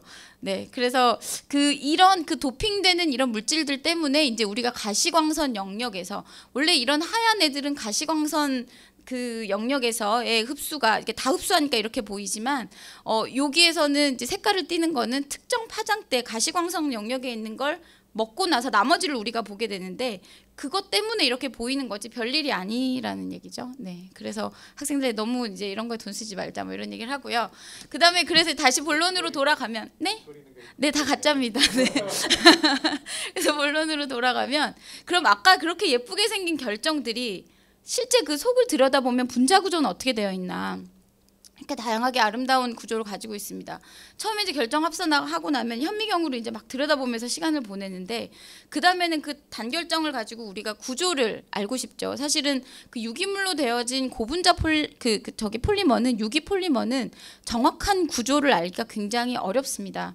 근데 이제 이건 단결정으로 저희가 기르기 때문에 이 결정에다가 엑스레이를 이렇게 쪼이게 되면 그 diffraction을 통해서 정확하게 실제 구조를 알 수 있습니다. 거기 원자에 의해서 그 electron이 그 electron density가 이제 읽혀지는 거거든요. 엑스레이 diffraction에 의해서.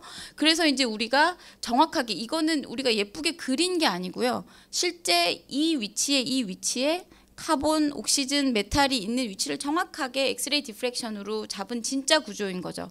그래서 그 다음 단계는 이제 프로그램을 가지고 이 구조를 들여다보다 보면 뭐 하루고 이틀이고 삼일이고 계속 이 구조만 들여다볼 수 있을 정도로 정말 그 재밌는 그런 이렇게 세계에 빠지게 되는데 결정학의 세계에 들어가게 되는데 이렇게 다양한 구조를 가지게 되고 다양한 pore 화- 그 다- 기공 환경 그다음에 기공 크기를 가지게 됩니다.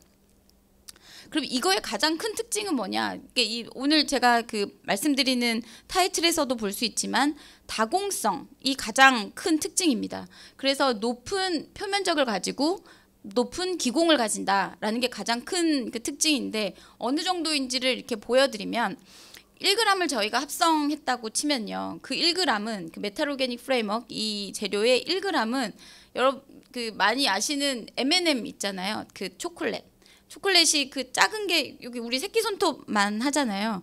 그거 한 여섯 개 정도가 한 1g 된다고 우리가 합성한 물질 1g 정도가 된다고 부피로 따지면 생각하시면 되는데 이 것에 이 안에 요만큼 되는 거에 기공 안에 들어가서 표면적을 따져 보면 그 표면적이 풋볼 경기장이 보통 이제 정규 풋볼 경기장이 한 7,000 square meter 정도 된다고 얘기를 하거든요. 요만큼이 지금 7,300 square meter가 됩니다. 그러니까 그게 무슨 말인가 생각을 해보면 지금 이 방의 표면적은 요 그 여섯 면이잖아요. 여기 벽을 하나 치면 벽만큼의 표면적이 더 양쪽 면으로 늘어나죠. 그게 무수히 많은 칸을 치게 되면 surface area가 어마어마하게 계속 기하급수적으로 늘어나게 되는데 이 안에 그런 일이 일어나고 있다는 거죠. 그럼 1g을 가지고 이런 썰, 그 surface area 표면적을 가질 수 있다면 그 표면적을 이용한 다양한 그 어플리케이션을 생각을 해볼 수가 있을 겁니다. 근데 또 다른 한 가지 이제 좀 재미있는 특성을 얘기를 해드리자면 어 아까 보셨지만 그 마치 그 결정이 다이아몬드나 이런 것처럼 굉장히 단단하고 견고하게 보이잖아요. 그래서 이제 그래서 다공성을 유지를 할수 있는 건데 다공성을 개념을 생각해 보면 처음에 이제 다공성을 가지고 있는데 절대로 그 자연은 그 백큐um 상태를 선호하지 않아요. 뭔가를 채우고 싶어 하지 비어 있는 상태를 좋아하지 않거든요. 그래서 그 안에는 처음에는 합성할 때 썼던 그런 용매들이 가득 차 있습니다. 근데 그 용매를 빼버리면 대부분의 물질들은 이렇게 다 짜부러지죠. 튼튼하지 않으면 다 이렇게 주저앉게 됩니다. 그런데 우리가 잘 디자인해서 튼튼하게 만들면 얘네들을 빼도 원래 구조를 그대로 유지하게 되죠. 이게 보통 제올라이트 같은 애들입니다. 튼튼한 무기 다공성 재료들 아니면 porous 실리카 이런 애들이 이제 이런 상태가 되는데 어 이제 3 generation 제3의 generation으로 가면 어떻게 되냐면 얘네들을 빼주게 되면 여전히 다공성이긴 한데 구조가 완전히 달라지게 됩니다. 그러니까 그렇게 단단해 보이는 애가 그 안에서 물이나 뭐를 빼고 났더니 구조가 완전히 확 달라지게 되는 거죠.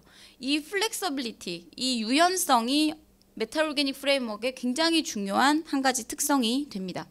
근데 그 flexibility가 어떻게 구현이 되냐면 아까 박배 교수님도 말씀하셨지만 이 물질은 굉장히 responsive한 물질이에요. 밖에서 어떤 자극을 주면 자극에 대해서 반응을 하는 물질이거든요. 그래서 그 자극은 어, 어떤 그 가스 molecule이 될 수도 있고 지금 이런 빛이 될 수도 있고 뭐, 그, 뭐 가시광선이 될 수도 있고 UV가 될 수도 있고 아니면 압력이 될 수도 있고 그걸 가해주면 거기에 대해서 얘가 굉장히 specific하게 막 움직이면서 반응을 다이나믹하게 하는 거죠. 그래서 굉장히 반전 매력이 있는 단단해 보이지만 굉장히 소프트한 그런 물질입니다. 그래서 그런 특징 중에 하나가 뭐냐면 심지어는 breathing이라고 부르는 모션이 있는데 요게 이제 합성을 했을 때 만약에 이런 식으로 guest molecule이 들어가 있는데 뭔가 자극을 딱 주면 이렇게 pore가 지금 확 달라졌죠. 완전히 구조가 달라지게 됩니다. 이게 마치 뭐냐 하면 우리가 숨을 쉴 때 횡격막이 오르락 내리락 하면서 폐의 크기가 이렇게 바뀌잖아요.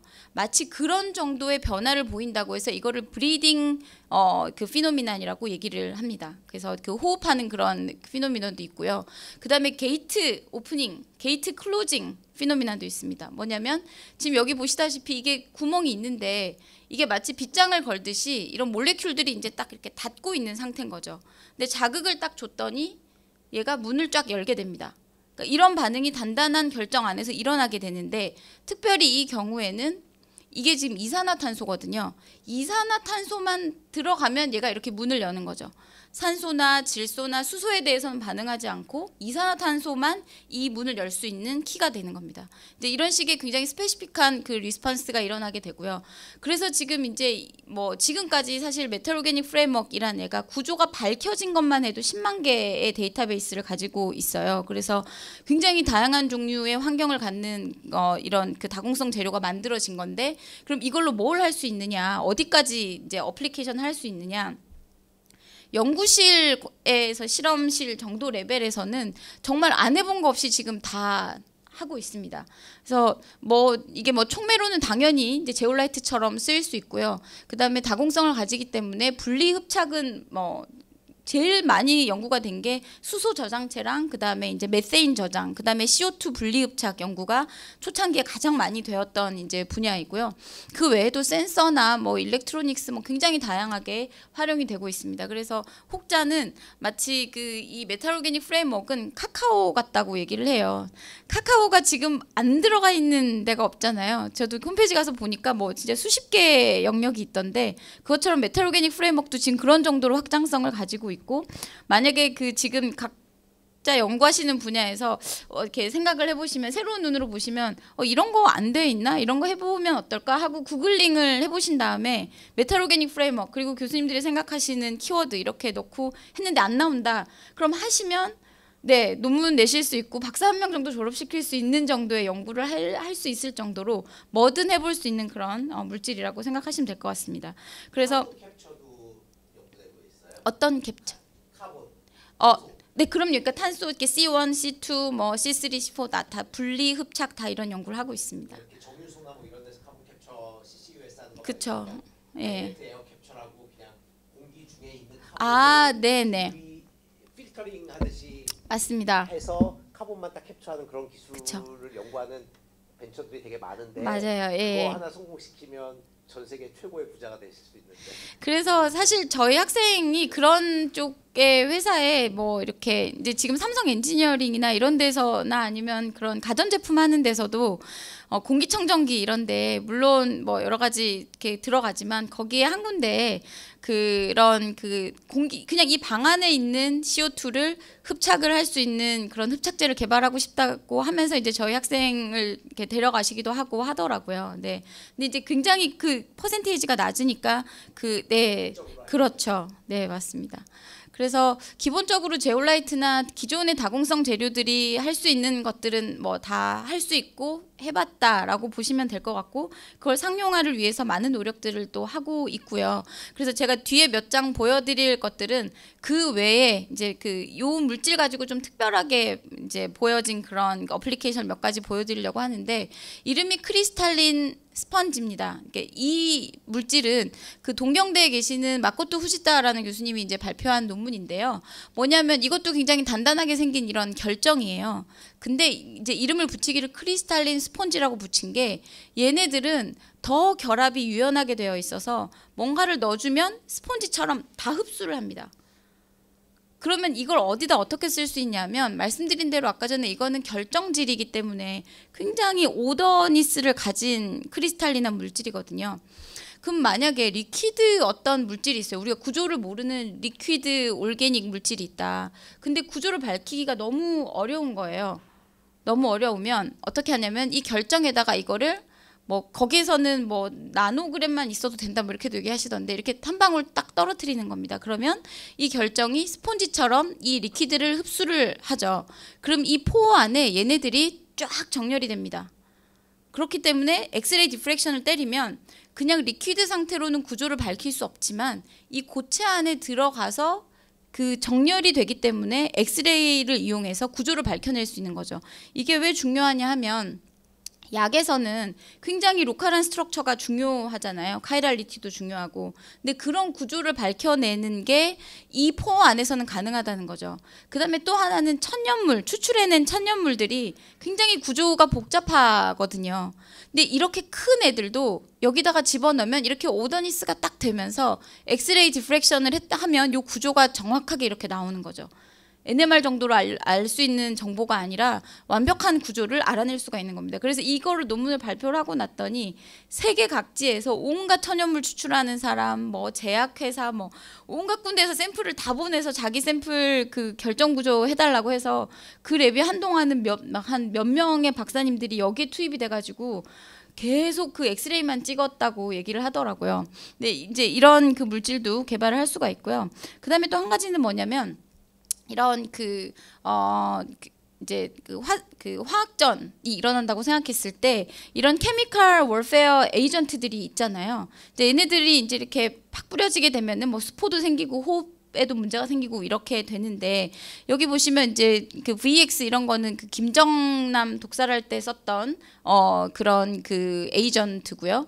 이제 문제는 뭐냐면 이런 그 화학전이 일어났을 때 우리가 어떻게 이거를 여기서 살아남을 수 있을 거냐가 이제 중요한 이제 포인트가 되는 거죠. 근데 실험실에서 사실은 이런 에이전트를 직접 쓸 수는 없으니까 이제 시뮬런트를 씁니다. 비슷하게 생긴 구조를 가지고서 이제 이걸 어떻게 흡착해서 걸러내는지 아니면 더 좋게는 흡착만 해가지고 문제가 되는 게 흡착 되는 지점까지 세츄레이션 되고 나면 그다음부터 우리가 먹어야 되는 거거든요. 그러니까 그렇게 안 되려면 촉매로 작용해서 얘네들이 계속해서 깨져야 되는 거죠.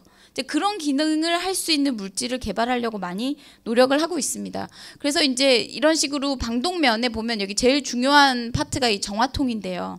정화통에 어 여기 이제 그 필터 같은 게 들어가겠죠. 그러면 숨을 쉬면 바깥에 있는 그런 그 이런 에이전트들이 화학 에이전트들이 들어간 것들이 여기서 걸러지고 이제 깨끗한 공기가 들어가야 되는데 어 뭐 군대 다녀오신 분들 알겠지만 이거를 이제 가상으로 해봐도 그렇게까지 성능이 좋은 정화통이 이제 있을 수가 없, 없다 없겠죠. 저는 안 해봤지만 예, 없죠. 그래서 이 정화통 안에 지금 현재로 쓰는 거는 그래도 제일 괜찮다고 하는 게 수, 숯이에요. 숯. 활성탄을 결국은 쓰고 있는 중이고요. 그래서 우리 우리나라에도 그렇고 그다음에 그 미국에서도 그렇고 많이 쓰고 있습니다. 많이 연구를 하고 있습니다. 이쪽 분야로 연구를 많이 하고 있는데 이런 그 우리가 합성하는 이런 물질들은 어, 다공성 물질이어서 흡착만 하는 게 아니라 여기 안에 촉매 자리들이 굉장히 많이 들어가 있어서 이거는 지금 그 겨자 가스거든요. 머스타드 가스인데 얘네들이 여기 들어가면 요 촉매 자리에서 이제 막 이렇게 자기네들이 분해가 돼서 이제 깨질 수가 있는 거죠. 그리고 이제 ADD에서는 하고 있는 일이 뭐냐면 요 정화통에 넣는 것도 있지만 이게 몸 몸도 막아줘야 되잖아요. 그래서 섬유를 이런 물질들을 섞어서 방사를 해서 섬유를 만든 다음에 군복을 만드는 그런 연구도 지금 진행을 많이 하고 있습니다. 그 다음에 이제 가장 기본적으로 다공성이 있으니까 분리에 대한 생각은 당연히 할 수 있는데 기본적으로 뭔가를 분리를 한다는 거는 가장 심플하게는 사이즈를 이용한 분리죠. 그래서 이제 이게 찾아보니까 그 초등학생들이 어디 학원이나 이런 데 비싼 돈을 내고 가면 이런 키트를 사 가지고 이 뭐 대두랑 그 까만콩이랑 좁쌀을 가르는 이런 거를 이제 하라고 엄마가 이제 돈을 주고 보내고 이렇게 하는데 이제 보면 이게 사이즈를 가지고 채를 치는 겁니다.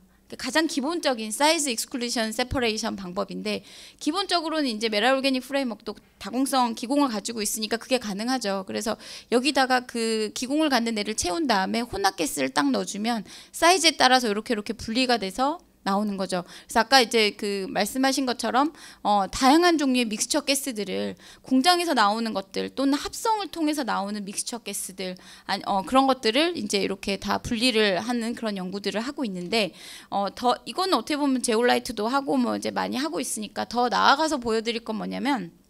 더 어려운 분리, 더 어려운 분리가 동위원소 분리입니다. 그래서 이건 이제 저희 연구실에서 많이 하고 있는 이제 집중해서 하고 있는 일인데 예를 들면 이제 수소 이제 동위원소를 생각을 해보시면 어, 우리가 기본적으로 수소라고 하는 것들은 이제 예죠. 네. 그래서 그 중 여기 보면 이제 프로톤 하나에 전자 하나 있는 요 구조가 우리가 이제 흔히 이 공기 중이나 이제 많이 이제 알고 있는 그런 수소인데 실제로는 자연 안에 한 0.01% 정도 이 중수소도 들어 있습니다. 이 중 이걸 동위원소라고 하는데 중수소는 다른 건 다 똑같은데 뭐냐면 여기 뉴트론만 하나가 여기 더 들어가 있는 게 이제 그러니까 좀 더 무겁죠. 얘가 들어감으로써 좀 더 무거운 듀트륨이 있고 그 중수소가 있고 그다음에 삼중수소 이제 두 개가 들어가면 삼중수소가 됩니다.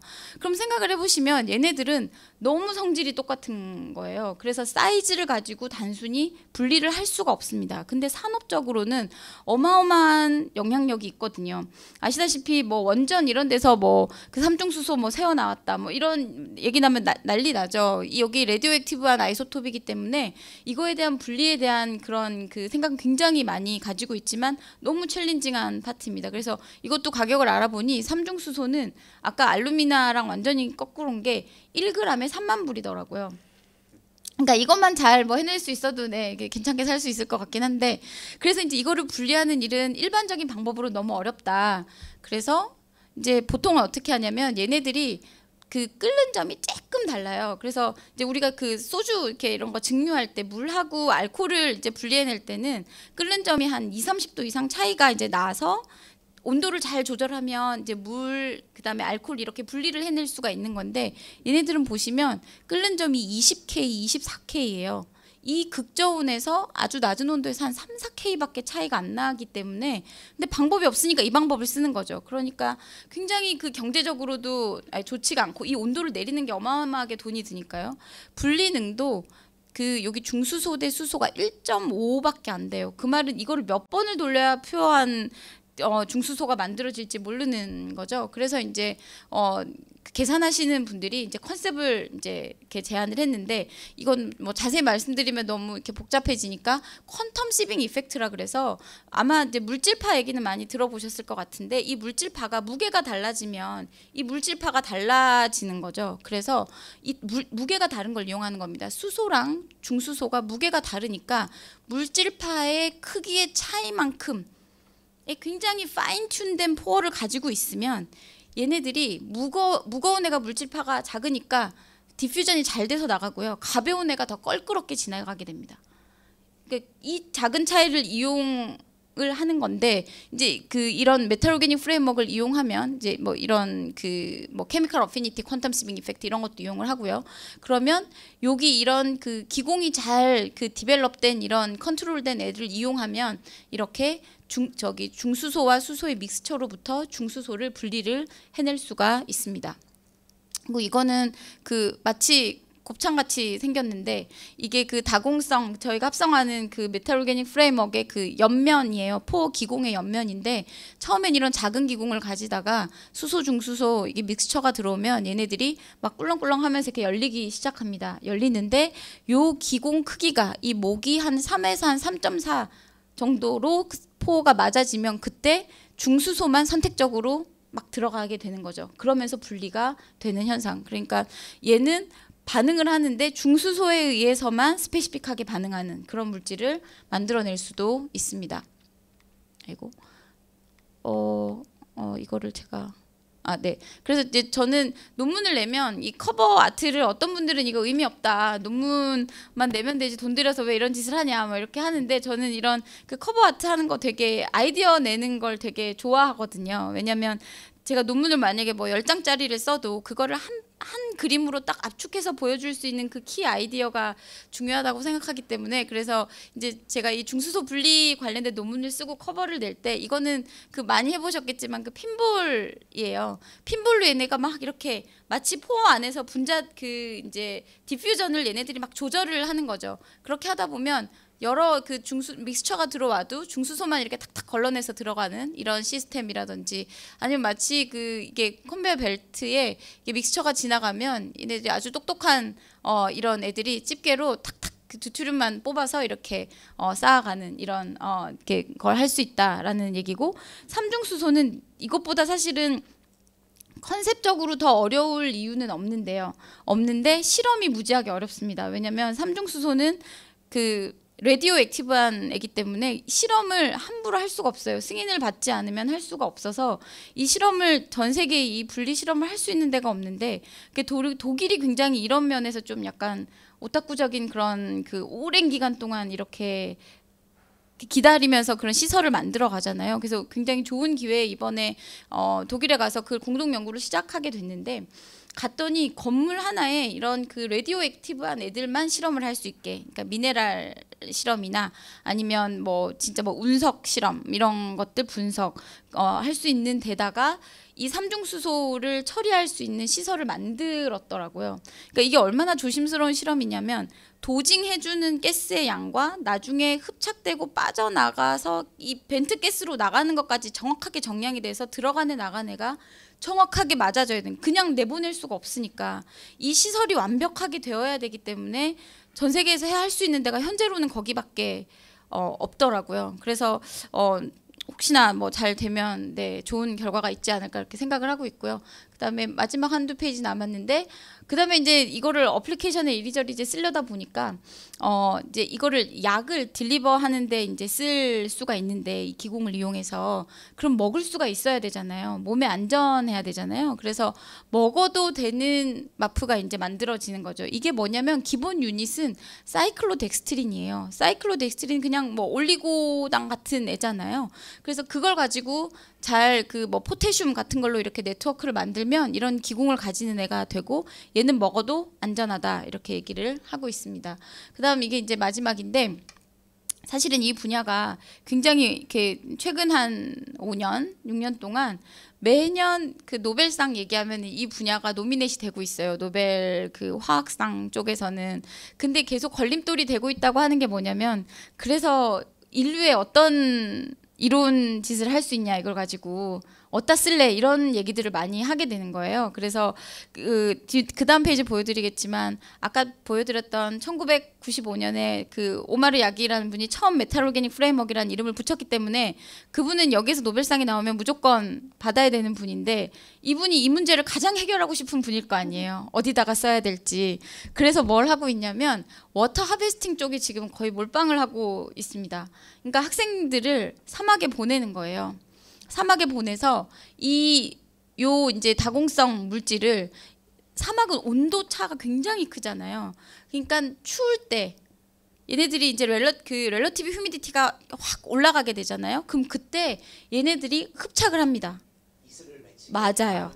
맞아요. 그래서 실제로는 그물 같은 걸 쳐놓고 거기에다가 이제 해서 밑에다가 이렇게 또르륵 해서 받아내는데 그거보다 단면적이 훨씬 넓, 넓기 때문에 표- 표면적이 넓기 때문에 얘네들이 이렇게 놓고 이슬이 맺히도록 여기 안에서 하는 거죠. 그리고 훨씬 더 강하게 이렇게 당기는 거죠. 근데 낮 되면 얘네들이 온도가 올라가니까 원래는 여기 흡착한 애들 빼내려면 그것도 에너지가 들거든요. 온도를 올려주든지 아니면 백큐음을 걸어주든지. 근데 온도가 올라가니까 밑에 이렇게 이렇게 통만 받아두면 얘네들이 쫄쫄쫄쫄 물을 뱉어냅니다. 이거를 그러니까 뭐 별다른 거 해줄 거 없이 그냥 알아서 사이클이 돌아가게 되는 거죠. 그래서 이 교수님이 늘 시킨대요. 이렇게 가면 이렇게 해가지고 마시는 동영상까지를 찍어 오라고 꼭 시킨다고 하더라고요. 그래서 이번에 그분이 어디 저 저희 분야의 가장 큰 학회에서 이제 기조 강연을 하시면서 여기 그 그걸 마신 친구가 한국 학생이라고 하던데 예, 한국 학생이 이렇게 이렇게 마시고 그다음 어떻게 되는지 모르겠지만 예, 마시는 모습까지 이렇게 비디오를 보여주더라고요. 그래서 굉장히 시작은 그 metal cluster, metal organic cluster에서부터 그 ligand 디자인을 통해서 다공성 재료를 만든 다음에 지금 이렇게 water harvesting까지 왔고 어 글쎄요 어떻게 될지 모르지만 이게 가짜 뉴스가 아니기 위해서 제가 일부러 더 못생기게 그리긴 했는데 Nobel Prize Chemistry 이제 2023에 정말 이 분야에서 이렇게 노벨 화학상이 나올까? 내년 어 2023년 10월 5일에 노벨 화학상이 발표가 될 텐데 어 그때 만약에 이사 진이 이렇게 올라온다면 아마 저를 한 번 더 기억해 주실 수 있지 않을까 싶은 생각이 듭니다. 네, 이상 발표 마치겠습니다. 물을 정수하는 데는 이미 쓰이고 있나요?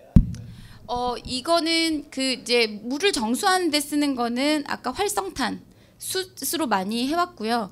이거는 할 수는 있는데 얘의 단점은 뭐냐면 활성탄 탄소로 이루어진 다공성 재료는 carbon carbon bond인데 이건 굉장히 안정하거든요. 뭐 산에도 안정하고 뭐 다 안정한데 얘의 문제는 뭐냐면 금속과 유기 그 ligand의 이게 결합이다 보니까 가장 좋은 ligand는 물이에요.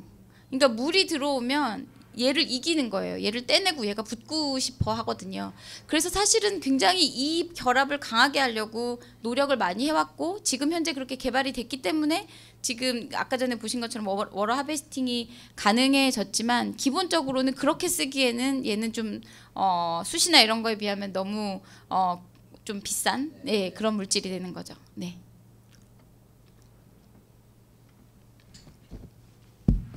제가 스폰지라는 단어를 듣고 굉장히 그 어, 관심이 많이 생겼는데 저는 스폰지가 물을 먹으면 이렇게 부풀어 오르는 거를 이제 많이 풀었었어요. 네, 그런데 네. 지금 metal organic framework에 스폰지처럼 물을 얘가 이제 빨아들이거나 아니면 뭐 다른 solvent를 빨아들이면 네. 얘가 부풀어 오를 수도 있나요?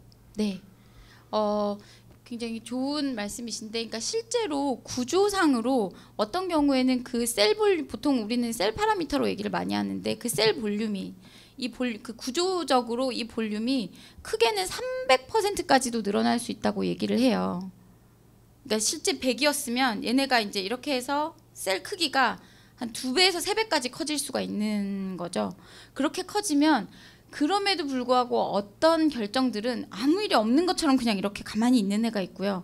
어떤 경우는 얘네들이 실제로 현미경으로 잘 관찰하면 어 좀 커지나 이렇게 보이기도 해요.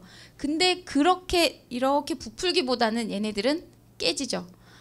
단단한 애들이기 때문에 얘 자체가 이렇게 스웰링돼서 커지기보다는 차라리 다다다다 깨지는 게 얘네들로서는 더안그 편하기 때문에 결정들이 팍 하고 부서지는 현상을 볼 수가 있습니다. 팍 부서질 때 네. 금이 가서 이렇게 부서지는 거예요? 아니면 팍 이렇게 폭발적으로 그것도 되게 좋으신 질문인데 실, 시- 일반적으로는 그게 그냥 금이 막 가면서 셈이나 이런 이미지를 보면 막 엄청나게 많은 그 결정 도메인들이 그걸 모제이시티라고 하는데 모제이시티가 엄청 올라가서 이렇게 깨져 있는 걸 볼 수 있는데 이게 굉장히 급작스럽게 이, 이 이제 부피 변화를 주면 팝콘이 튀듯이 팍 튀는 경우가 생겨요. 네, 그래서 마- 이게 아마 열 분석 이런 거 해보시면 알겠지만 이렇게 저울 위에 올려놓고 열 분석을 하잖아요.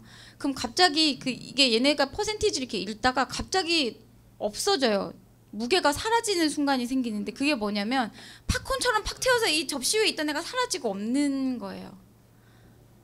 그래서 사실은 그래서 아 김호영 교수님 질문해 주셔서 너무 감사한데 제가 하는 연구 중에서 얘네들이 붙어 있다가 탁 떨어지는 이 순간의 에너지나 속도나 이런 걸 굉장히 보고 싶은데 이걸 어디에도 할 데가 없어서 제가 사실 교수님 홈페이지 엄청 열심히 들어서 봤거든요. 근데 교수님께 연락을 해볼까 말까 막 이렇게 고민을 하다가 연락을 못 드렸는데 실제로 제가 보여드린 제일 앞 페이지에 있었던 그림 있잖아요. 제가 예뻐서 한다는 이런 게 만약에 두 개를 굉장히 성질이 완전히 다른 애를 붙여놓잖아요. 그럼 어떤 자극을 주면 얘네 둘의 팽창의 정도가 완전히 달라요. 그럼 얘가 팽창을 많이 하면 어떤 순간에 얘가 팍 하고 떨어져서 나가거든요. 네, 굉장히 재미있는 우리 하이스피드 카메라로 한번 찍어 보면 예, 좋을 것 같아요. 감사합니다. 진짜 해보고 싶어서 진짜 교수님 홈페이지 막 무슨 스토커처럼 들어가서 보고 있어요. 나중에 한번 더 말씀 좀 나눠 보시죠. 네, 감사합니다. 오늘 문혜리 교수님이 사셔야 되겠네. 아, 아 정말 네, 감사합니다. 너무 너무 재밌게. 네.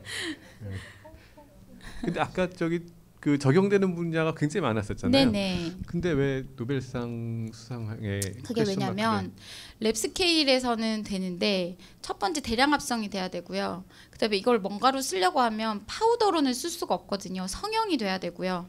여러 가지 이제 이런 실제로 이제 공정을 거쳐서 이제 application으로 가야 되는데 얘가 그런 공정에 상당히 약한 거죠. 뭔가 성형을 한다 그러면 수분이 들어가거나 다른 물질이 섞이거나 아니면 열을 가하거나 이래야 되는데 일반적인 그런 제올라이트나 이런 거에 비하면 그런 열적인 화학적인 안정성이 좀 떨어지는 편이에요. 그리고 그다음에 processability 이렇게 가공성이 떨어지고 요. 그래서 요즘 많이 하고 있는 연구가 뭐냐면 저희 lab에서도 하는 거지만 그런 그 유기 폴리머들은 굉장히 다양하게 좋은 성질을 가진 애들이 많이 있잖아요.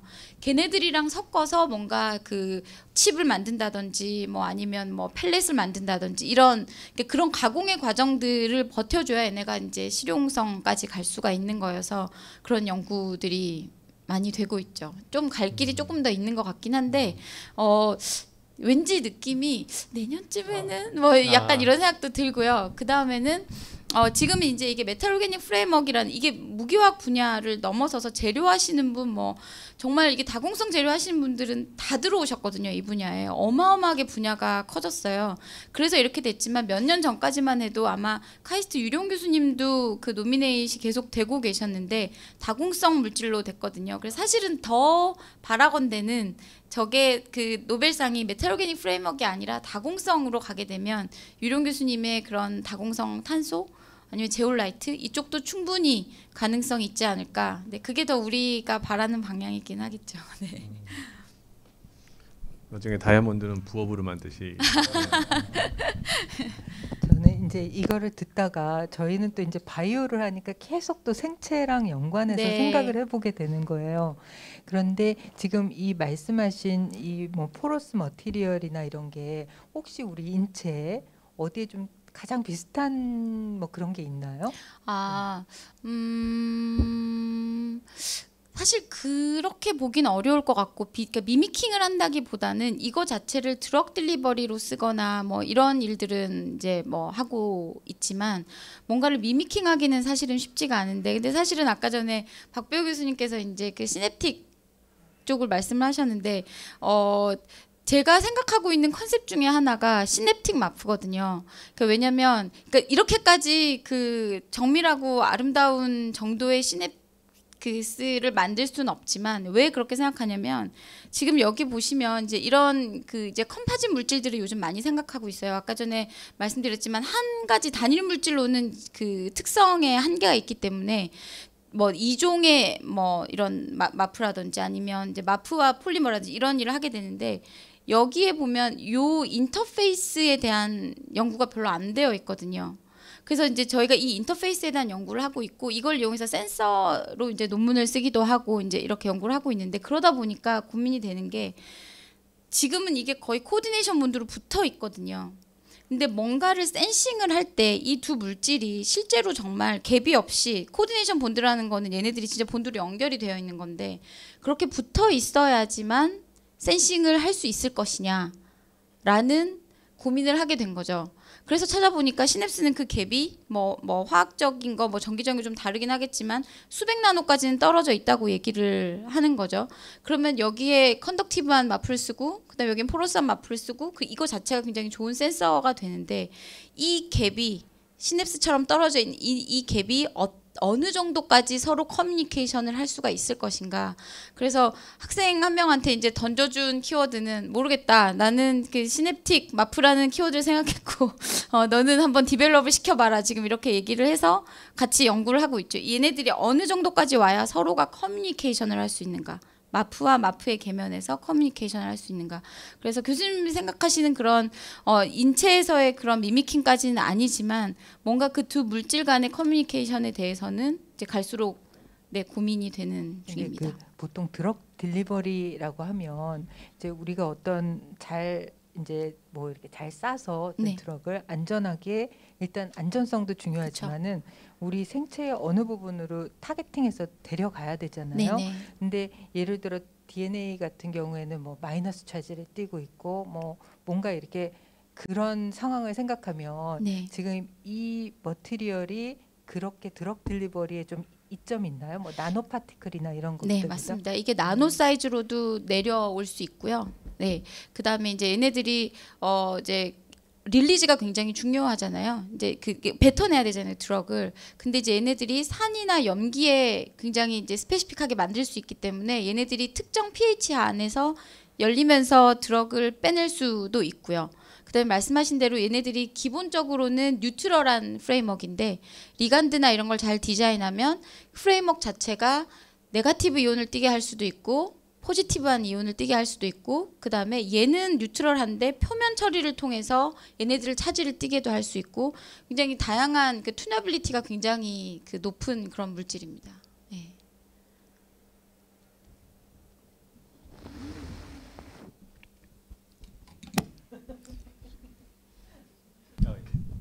그 교수님 아까 그 삼중수소 네. 그거 되게 재밌는 것 같은데 그게 삼중수소를 걸러내려면 그 사이즈의 uniformity 그러니까 사이즈가 이렇게 가, 토, 이 틈에 어, 간, 간격이 있을 거 아니에요. 그게 네. 계속 일정하게 유지돼야 되는 거 아니에요. 음, 약간 uniform하지 않으면 영향을 받나요? 그게 이제 그 컨셉이 컨셉이 이제 두 가지인데 포어의 크기에 의해서 분리되는 게 있고 이제 흡착의 세기 가지고 분리를 하는 게 있어요.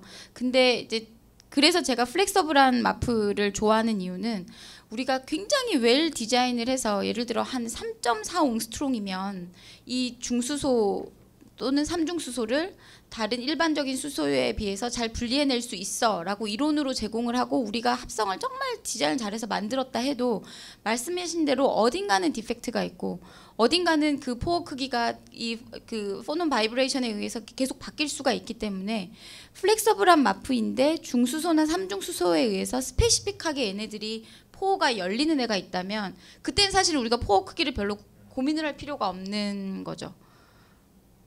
네. 그래서 저는 이쪽에서 그 막 디자인을 해서 막 3.1옹스트롬, 3.2옹스트롬 이렇게 만드는 연구는 별로 관심이 없고 얘네들이 자연스럽게 responsive하게 pore가 deuterium이나 삼중 수소에 의해서 문을 두드려서 열려가는 그런 responsive한 시스템을 찾는 걸 예, 쪽에 훨씬 더 집중을 하고 있는 게 그런 이유기도 합니다. 맞습니다. 그래서 이제 해보니까 한 케이스가 이제 저희 lab에서 굉장히 운이 좋게 발견이 되어서 발표를 했는데 진짜로 얘는 수소 중수소를 동시에 이렇게 딱 넣어줘도 중수소에 의해서만 딱 열리는 거 같은 조건에서 예. 그럴 가능성도 있는데 맞아요. 네, 그럴 수 있습니다. 그래서 뭐냐면 두 가지 컨셉 아까 전에 이제 분리하는 게 사이즈에 의한 문제가 있고 그다음에 흡착 세기에 대한 문제가 있는데 사이즈를 그렇게 해 놓고 안쪽 자리에 흡착 세기가 센 자리를 만들어 주면 그때는 동시에 따라 들어가도 무조건 듀트륨이 이기게 돼 있습니다. 무거운 애가. 네, 그래서 이제 저희가 주장하는 바는 이 두 가지 컨셉은 한 시스템에 동시에 들어가야 어, 우리가 원하는 대로 갈 수 있다. 그 다음에 저희가 실험은 아직은 원투원 믹스처를 쓰거든요. 근데 그게 아니라 실제로는 중수소가 0.01%가 있단 말이죠. 네, 그렇기 때문에 그 스페시피까지 내려가려면 아직 해볼 일들이 더 많이 남아 있다 이렇게 생각이 듭니다. 네, 아, 오늘 정말 재미있게 잘 들었습니다. 우리 저 문혜리 교수님께 다시 한번 큰 박수. 감사합니다.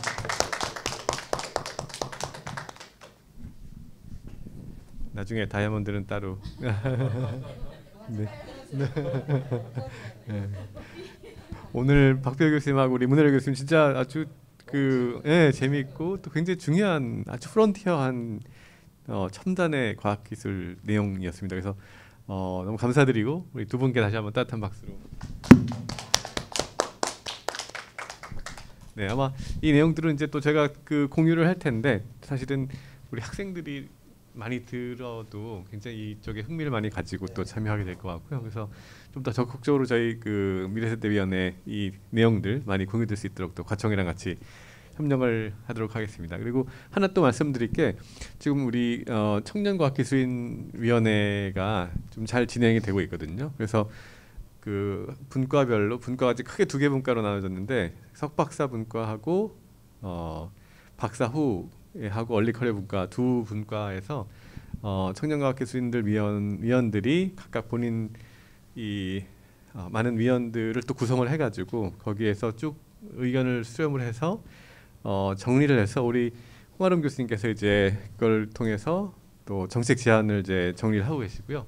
그 제안이 아마 이번 달 말 아니 다음 달에 과기부랑 얘기가 돼서 12월 초에 장관님 모시고 미래세 포럼을 이제 하게 될 것 같습니다. 그래서 그때 저희가 장관님 모시기 전에 그 정책 제안들이 과기부랑 먼저 상의가 되고 어느 정도 반영이 돼서 이제 장관님이랑 모실 때 실제로 진행 진행될 수 있도록 지금 잘 진행이 돼서 사실 그거 다 진행되게 된 가장 큰 그라운드는 우리 미래세대 위원 위원회가 아주 큰 역할을 해주셔가지고 너무 감사드리고요. 그래서 그 정리가 되는 데를 한번 저희가 공유드리고 한번 보시면 좋을 것 같고 또 사실은 그 어, 요새 가장 큰 이슈 중에 하나가 우리 인구 감소. 네, 인구 감소 문제가 굉장히 큰데 특히 그게 큰 임팩트가 사실은 과학기술계가 굉장히 클 것 같고 그래서 우리 미래, 미래대위원회가 어, 앞으로 그런 그 과학기술 분야의 이 미래 세대들이 훨씬 더 과학기술의 꿈을 갖고 또 유입될 수 있도록 하는 그런 역할을 아무래도 더 어, 하게 될 것 같고요. 그런 와중에서 우리 또 박배 교수님이 또 앞으로 위원장을 맡으셔서 또 많은 역할을 또 해주실 것을 많이 기대를 아, 임기는 없, 이- 그 기간 없습니다. 네, 종신은 예 그리고